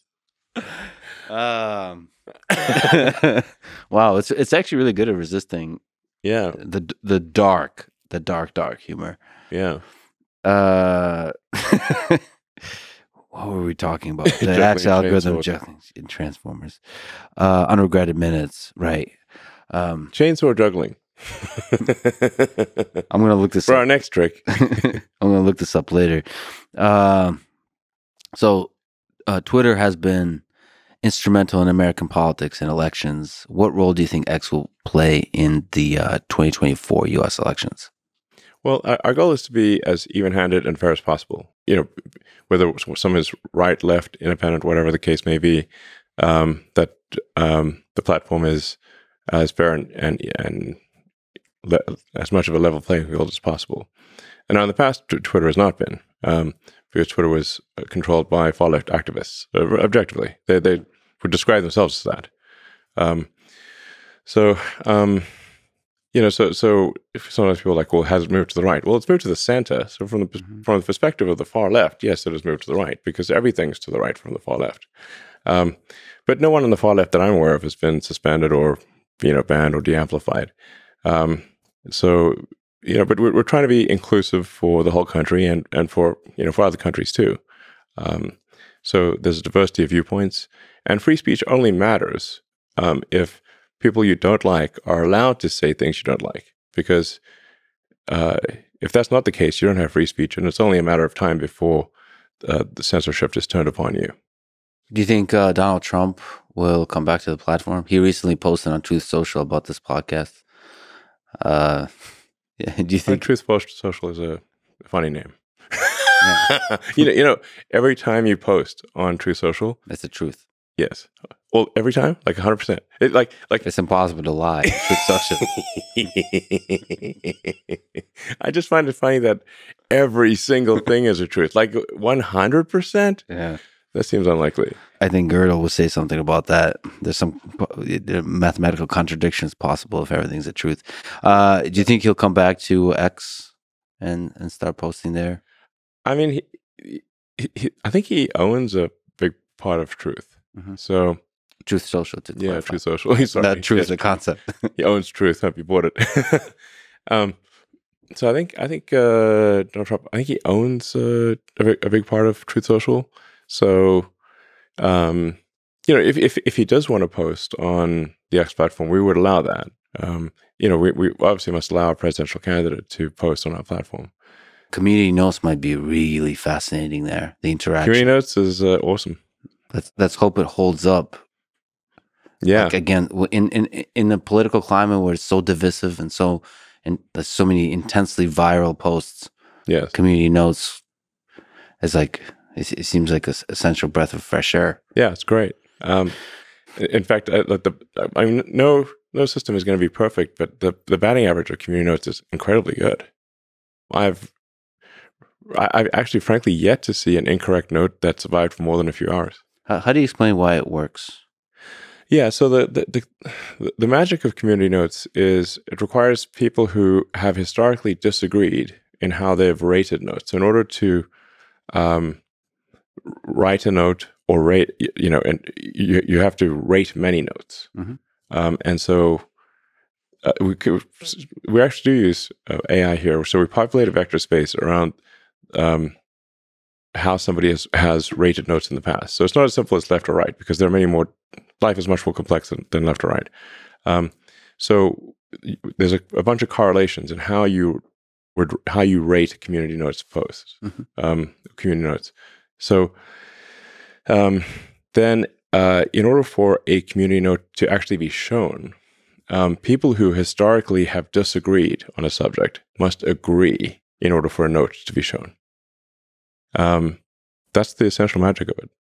I mean, but it's fascinating because there's a there's a pool of people that have disagreements, and somehow they collaborate through that process of disagreement to come up with Yeah, it- context for. To, to, I mean, it's, It- it's, it fascinating that it works. yeah, it, it, kind of makes sense that that if people who, who in the past have disagreed agree about something, um, it's probably true.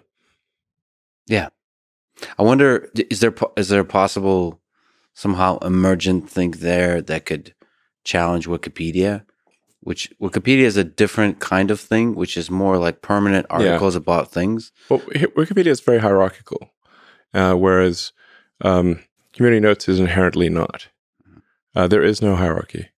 Like I, and, and the, the acid test is, um, I can't change a community note if somebody put a gun to my head. So, um, and and any and community community notes uh, has all the code is open source, hundred percent. All the data is open source, hundred percent. So you can completely recreate any note in the system independently. Um, so if there was any interference, you'd notice immediately.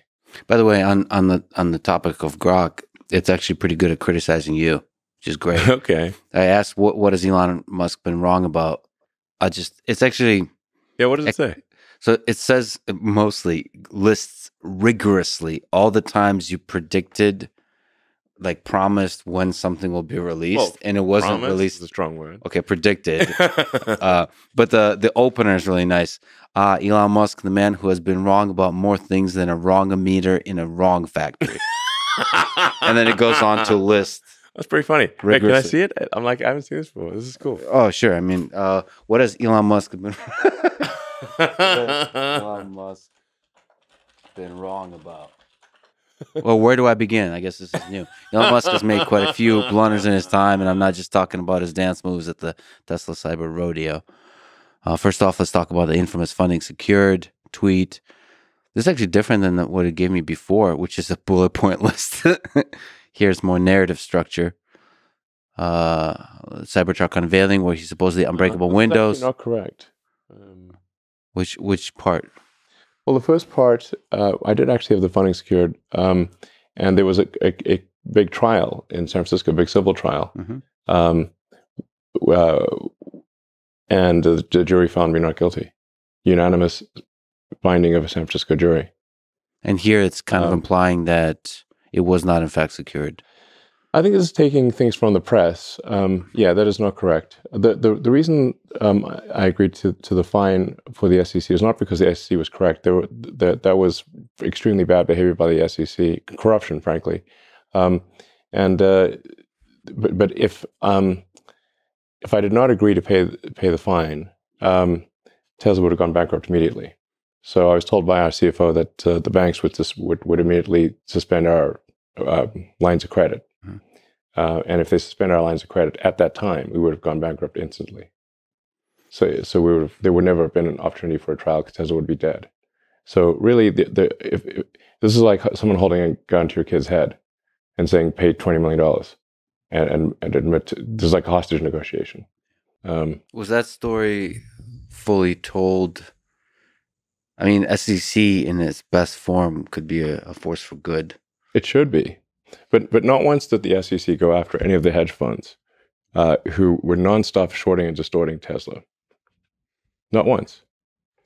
They would lie flat. The hedge funds would lie flat out on TV for their own gain, at the expense of retail investors. Not once, literally a thousand times. Not once did the SEC pursue them. How do you explain this failure? On the incentive structure is is messed up because the, the, the lawyers at the SEC are not paid well. They they it's a fairly low paying job, but they're, what they're looking for is a trophy from from the SEC. That they're looking for something they put on basically their LinkedIn. Yeah. Um, from that, they can get a job at a high paying law firm. That's exactly what the uh, lawyer here did. Um, and and and and the, and the reason they don't attack the, the hedge funds is because those hedge funds employ those law firms, and they know if they attack the hedge funds, they're affecting their pure, their future career prospects. So they sell small investors down the river for their own career. That's what actually happens. Regulatory capture. regulatory capture. Yeah, not good. So the, the only reason I accepted that thing technically was a um, not an admission. It's neither admit nor deny guilt. Uh, but the only reason I uh, agreed to that at all was because I was told Tesla would would be bankrupt otherwise. So if if there if there was an SEC investigation like this, banks would suspend funding. We're bankrupt immediately at the time. Mhm. Now we're in a much stronger position. Take that, Grok. Yes, unfortunately, it's Grok is is taking too much from the conventional media. Um, also, that guy was not a cave diver. Oh, there's a there's a time where Elon called a British cave diver a quote pedo guy after he after the diver criticized Musk's plan to rescue a group of boys trapped in a Thai cave. That little outburst earned him another lawsuit, and he had to apologize and pay a settlement. That's false. There was no settlement. There was a court case, Mhm. which he, which the guy who was not a cave diver and and, and played did was not part of the rescue team, um, filed a lawsuit against me and lost, and he received nothing. So in this case, it is wrong. Uh, it is also, uh, I guess, taking this from the conventional media. Actually, there's an interesting question I here. mean, this is th- these are public court cases. Yes. Both both the the the, the SEC civil case, uh, where th- the civil complaints on the SEC guys lost unanimous jury verdict in San Francisco. They picked San Francisco because they thought it was the place I was most likely to lose, and a unanimous verdict in my favor. The LA trial was also they picked the, the they they picked that venue because they thought was, I was most likely to lose. Unanimous verdict in my favor. It, both cases I won. Yeah, I mean, that, there's an interesting question here. Is there is, there seems to be a lot more uh, clicks if a if a journalistic organization writes a negative article about you, Elon Musk. That's like one of the best ways to get clicks. So how do you, if you're training Grok, not train on articles that have like the uh, misaligned incentives? we need to add the training set of the actual legal decisions. Uh, if so, that is a note. This is actually helpful um, because if you actually read the uh, Which are court, public. which are public, Yeah. the court conclusions, they're completely the opposite of what the media wrote. So always striving for like the ground truth Yeah. beyond what the, did the, the, judge reporting. actually write? The, what, what, what did the jury and the judge actually conclude? And in both cases, they found me innocent. And and like th- that's after they jury shopped for the trying to find the venue where I'm most likely to lose. No, I mean th- th- this is obviously it can be a much better better critique than this. Um, I mean, I've been far too optimistic about uh, autopilot. That that was the critique I got, by the way, was Yeah. more about that, which is it, it for each it broke down a nice bullet point list for each of your companies, the set of predictions that you made, when you'll deliver, when you'll be able to solve, for example, self driving, and it Yes. gives you like a list, and it was kind of compelling. And, and the, the basic takeaway is like you're often too optimistic about how long it takes to get something done. Yeah, I mean, I would say that I'm pathologically optimistic on schedule. This is this is this is true. But um, while I am sometimes late, I always deliver in the end. Uh, except with Uber Lilith, no. We'll see. uh, okay, is there uh, over the past year or so since since purchasing X, you've become more political? Is there a part of you that regrets that Have I? in this battle to um, sort of counterweigh the the woke that comes from yeah, I guess San if you, if you consider fighting the, the woke mind virus, which I consider to be a civilizational threat, to be political, then yes. So basically, going into the the battle, the battleground of politics. I mean, is there a part of you that regrets yes, that? I don't know if this is necessarily sort of one candidate or another candidate, but it's um, I'm generally against things that are anti-meritocratic uh, or where there's an attempt to suppress discussion, um, where ev- even discussing a topic is, uh, you know, not allowed. Um, the woke mind virus is communism rebranded.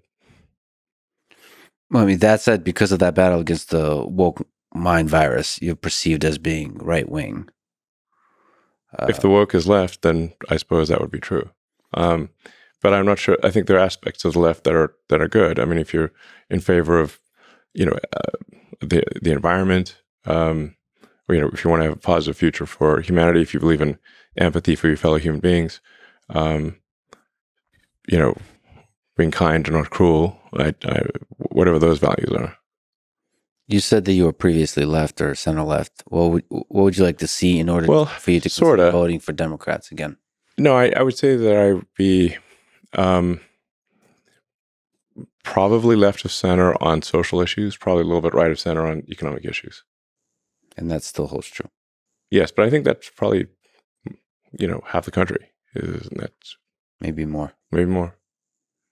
Are you and AOC secretly friends? Or bigger question, do you wish you and her and just people in general of all political persuasions would talk more and with empathy and maybe have a little bit more fun and good vibes and humor on online? Um, I'm always in favor of humor. That's why we have a funny mode. But good vibes, camaraderie, humor. You know? Like uh like friendship. Yeah, I don't. Well, I you know I, I don't know AOC. I've I, you know was um I've only been at one. look- I was at the the Met Ball when she was when she attended, um, and she she was wearing this dress, uh, but I can only see one side of it, so it it, it looked like eat the itch, but I I, Hmm. I don't know what What the rest of it said? yeah. uh, yeah something. like I'm not sure. something about the itch. Eat the itch. I think we should have a language model complete. what are the possible ways to complete that Yeah. sentence? And so I guess that uh, that didn't work out well. Well, there's still hope. Um, I, I root for yeah. friendship. Sure, sounds good. More carrotistic. You're one of, if not the most famous, wealthy, and powerful people in the world. In your position, it's difficult to find people you can trust. Trust no one, not even yourself, not trusting yourself. Okay, well, that's you're saying that jokingly, but is there some Trust no one, not even no one. Gonna Need an hour just to think about that, and maybe some drugs, and maybe grok that. Yeah. Um, I mean, is there some aspect of that when just existing in a world where everybody wants something from you? How, how hard is it to exist in that world? I'll survive. There's a there's a song like that too. I will survive. Were you petrified at first? Um, okay, I forget the rest of the lyrics. But is is there you don't struggle with this? I mean, I know you survive, but like there, there's ways. Petrify is a spell in the druid tree. What does it do? Petrify. It pe- it, it, it turns it turns the monsters into stone. oh, like literally. yeah, for like six seconds. Well, the seconds. Or There's up- so up to, like, much math seconds. in Diablo that breaks my brain. It's like math nonstop. I mean, really, you're like laughing at it, but you don't. It can it can put a huge amount of tension on a mind. Yes, it can be definitely stressful at times. Well, how do you know who you, who you can trust in work and personal life? I mean, I guess you look at somebody's track record over time, and if they've Data. got a, tr- you know, I guess you kind of use your neural net to assess you know someone. Neural nets don't feel pain. Your neural net has consciousness. It might it might feel pain when people betray you. It can make I you mean, cynical. I'm you know to be frank. I mean, I've I've re- almost never been betrayed. It's very very rare. So you know, for what it's worth, I guess karma be good to people and they'll be good to you. yeah, calm is real. Are there people you trust? Let me edit that question. Are, are there people uh, close to you that call you out on your bullshit? Um, well, the X platform is very helpful for that. Hmm. So- if you're looking for critical feedback. Can it push you like into the extremes more? The extremes of thought make you cynical about human nature in general? I, I don't think I will be cynical. In fact, I think, um, you know, I, my feeling is that one should be, be, you know, never trust a cynic. The reason is that um, cynics excuse their own bad behavior by saying everyone does it hmm they're- because they're cynical. So I always be, it's a red flag if someone's a cynic, a true cynic. Yeah, there's a degree of projection there that's always fun to watch from the outside and enjoy the, Well, the just hypocrisy. if but but I, this is an, an important point that I think people who are listening should bear in mind. If if somebody is cynical, meaning that they see bad behavior in everyone, um, it's easy for them to excuse their own bad behavior. By saying that well everyone does it. It's not true. I, most people are kind of medium good. I do wish the people on X would be better at seeing the good in other people's behavior. There seems to be a kind of weight towards seeing the negative. Somehow the negative is sexier. Interpreting the negative is sexier, more viral. I don't know what that is exactly about human nature. I mean, I find the X platform to be less negative than the legacy media. You know, I mean, if if you read sort of a sort of conventional newspapers, just it makes you sad. Yeah. frankly. Um, whereas I'd say on the X platform, I I mean, I really get more laughs per day on X than everything else combined from humans. You know. Laughs is one thing. It, it- laughs is it, it uh, overlaps, but it's not necessarily perfectly overlapping with like good vibes and support, like um, celebrating others, for example. Not in a stupid, Sure. shallow, naive way, but like in an awesome, like oh, something awesome happened, and you celebrate them for it. It's it feels that that is outweighed by shitting on other people. Now, it's better than mainstream media, but it's still Yeah, mainstream media is almost relentlessly negative about everything. Um, it's, I mean, re- really, the conventional news tries to answer the question, "What is the worst thing that happened on Earth today?" Mhm. And it's a big world. So on, Yeah. on any given day, something bad has happened. and a generalization of that. What is the worst perspective I can take on a thing that happened? so Yeah, it's. I don't know. There's just a strong negative bias in the news. Um, I, I mean, I think there's what the what a possible explanation for this is evolutionary, um, where you know bad news historically would be potentially fatal. Like uh, there's a lion over there, or there's some other tribe that wants to kill you. Um, good news, you know, like we found a, a patch of berries is nice to have, but not essential. so our old friend Tesla Autopilot. uh, It's probably one of the most intelligent real world AI systems in the world. Right? You followed it from the beginning. Yeah, it was one of the most incredible robots in the world and continues to be. Yeah. And it was really exciting. And it was super exciting when it generalized, became more than a robot on four wheels, but uh, a real world AI system that perceives the world Yeah. and has can have potentially different embodiments. Well, I mean, the really wild thing about the end-to-end training is that it like it learns to read, like it, it can read signs, but we never taught it to read. So, yeah, we never taught it what we never taught it what a car was, or what a person was, or a bicy- cyclist. Uh, it learned what what all those things are, what all the objects are on the road. Um, from video, just from watching video, just like humans. I mean, humans are photons in, control controls out. Like the vast majority of information reaching our brain is from our eyes. Um, and you say, well, what's the output? The output is our motor signals to our sort of fingers and mouth in order to communicate. Um, photons in, controls out. The same is true of the car. But by looking at the sequence of images, it's you've uh, agreed with Ilya Sutskever recently, where he talked about LLM forming a world model, and basically language is a projection of that world model onto the sequence of yeah letters, and and you saying it finds say, order in in in these things. Uh, mm-hmm.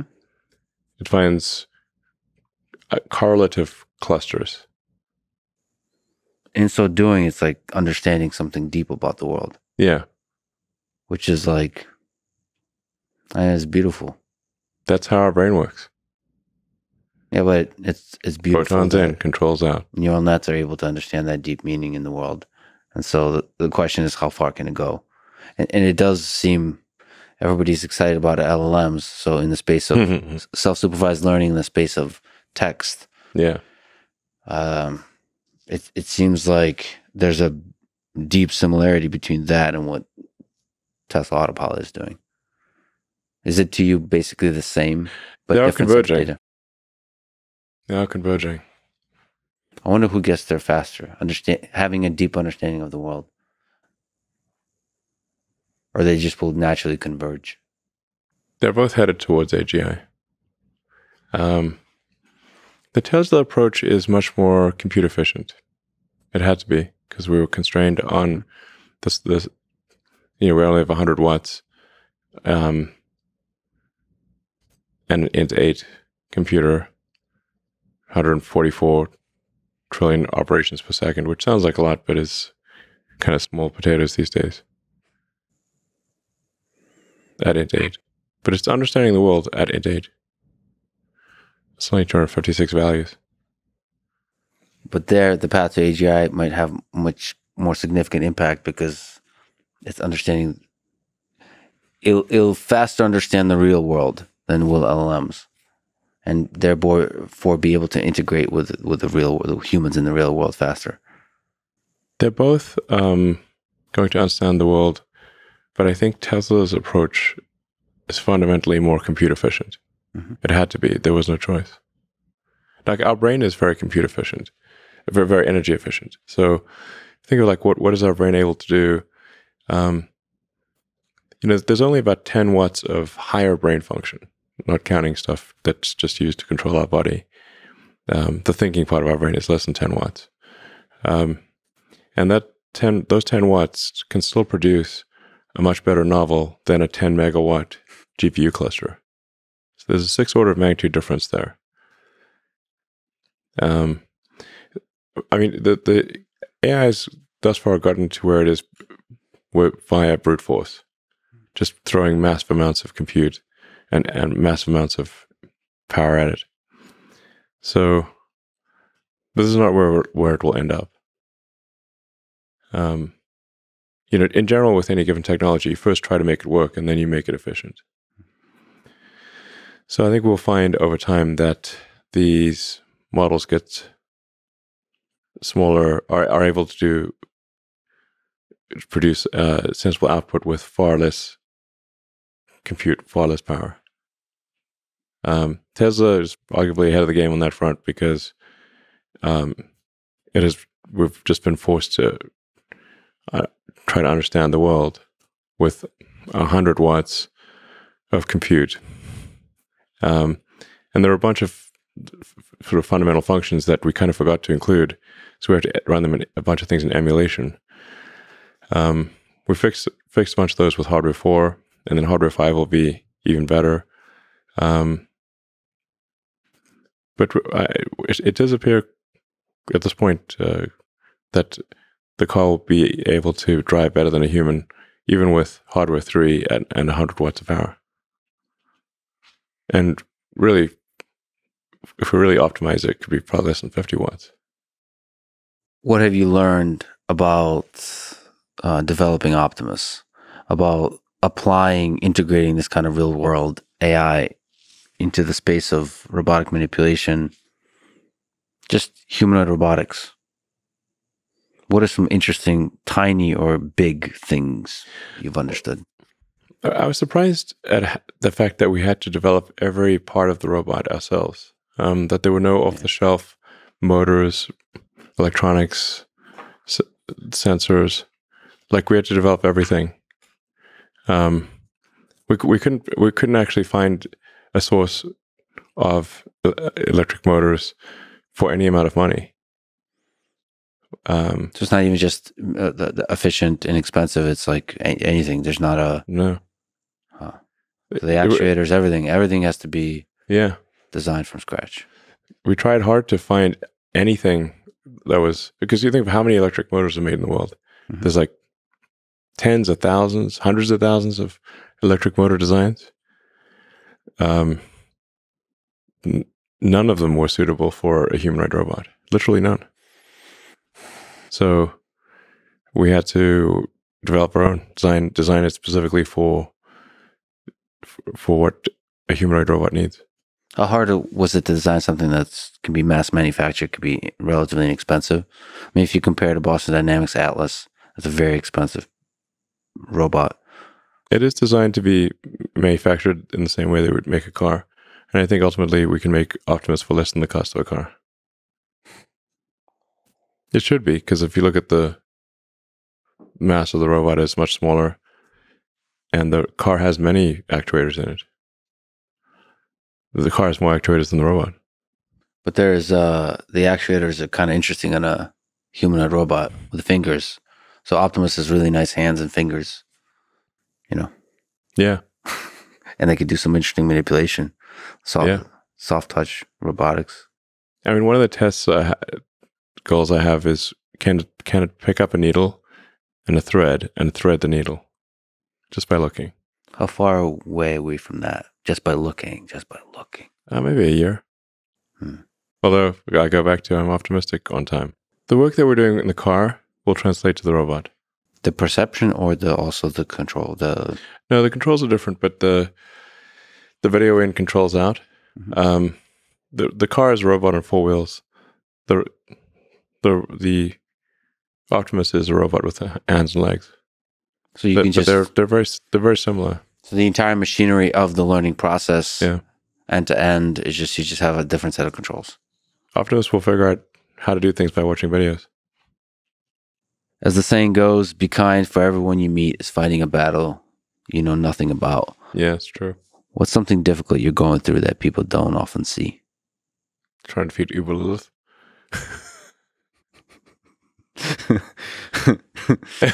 um, no, I mean, you know, uh,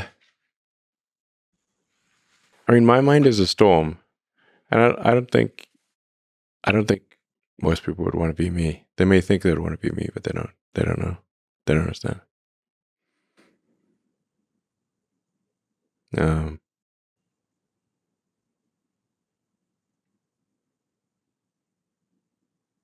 How are you doing? I mean, overall, okay. In the grand scheme of things, I can't complain. Do you get lonely? Sometimes, but I, you know, my kids and friends keep me company. So not existential. There are many nights I sleep alone. I don't have to, but I do. Walter Isaacson, in his new biography of you, wrote about your difficult childhood. Will you ever find forgiveness in your heart for everything that has happened to you in that period of your life?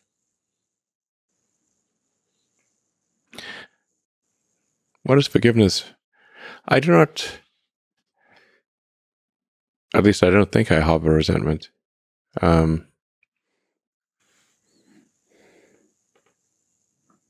so, nothing to forgive. You know, forgiveness is difficult for people. It seems like you don't harbor the resentment.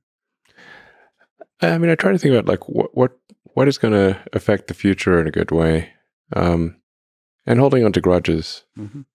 does not affect the future in a good way. You're a father, a proud father.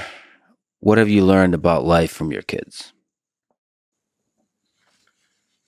Those little biological organisms. I mean, developing AI and watching, say, a little X grow is uh, fascinating uh, because they there are far more parallels than I would have expected. I mean, I can see his biological neural net making more and more sense of the world, and I can see the digital neural net making more and more sense of the world at the same time. Do you see the beauty and magic in both? Yes. I mean, one of the things with with kids is that uh, you know you you kind of see the world anew in their eyes. Um, you know, to them, everything is new and fresh, and um, and then when you when you see that them experience them, the world is new and fresh, you do too. Well, Elon, I just want to say thank you for your uh, kindness to me and friendship over the years, for seeing something in a silly kid like me, as you've done for many others. And um, thank you for having hope for a positive future for humanity and for working your ass off to make it happen. Thank you, Elon. Thanks, Lex. Thank you for listening to this conversation with Elon Musk. To support this podcast, please check out our sponsors in the description. And now, let me leave you with some words that Walter Isaacson wrote about the central philosophy of how Elon approaches difficult problems. The only rules are the ones dictated by the laws of physics. Thank you for listening and hope to see you next time.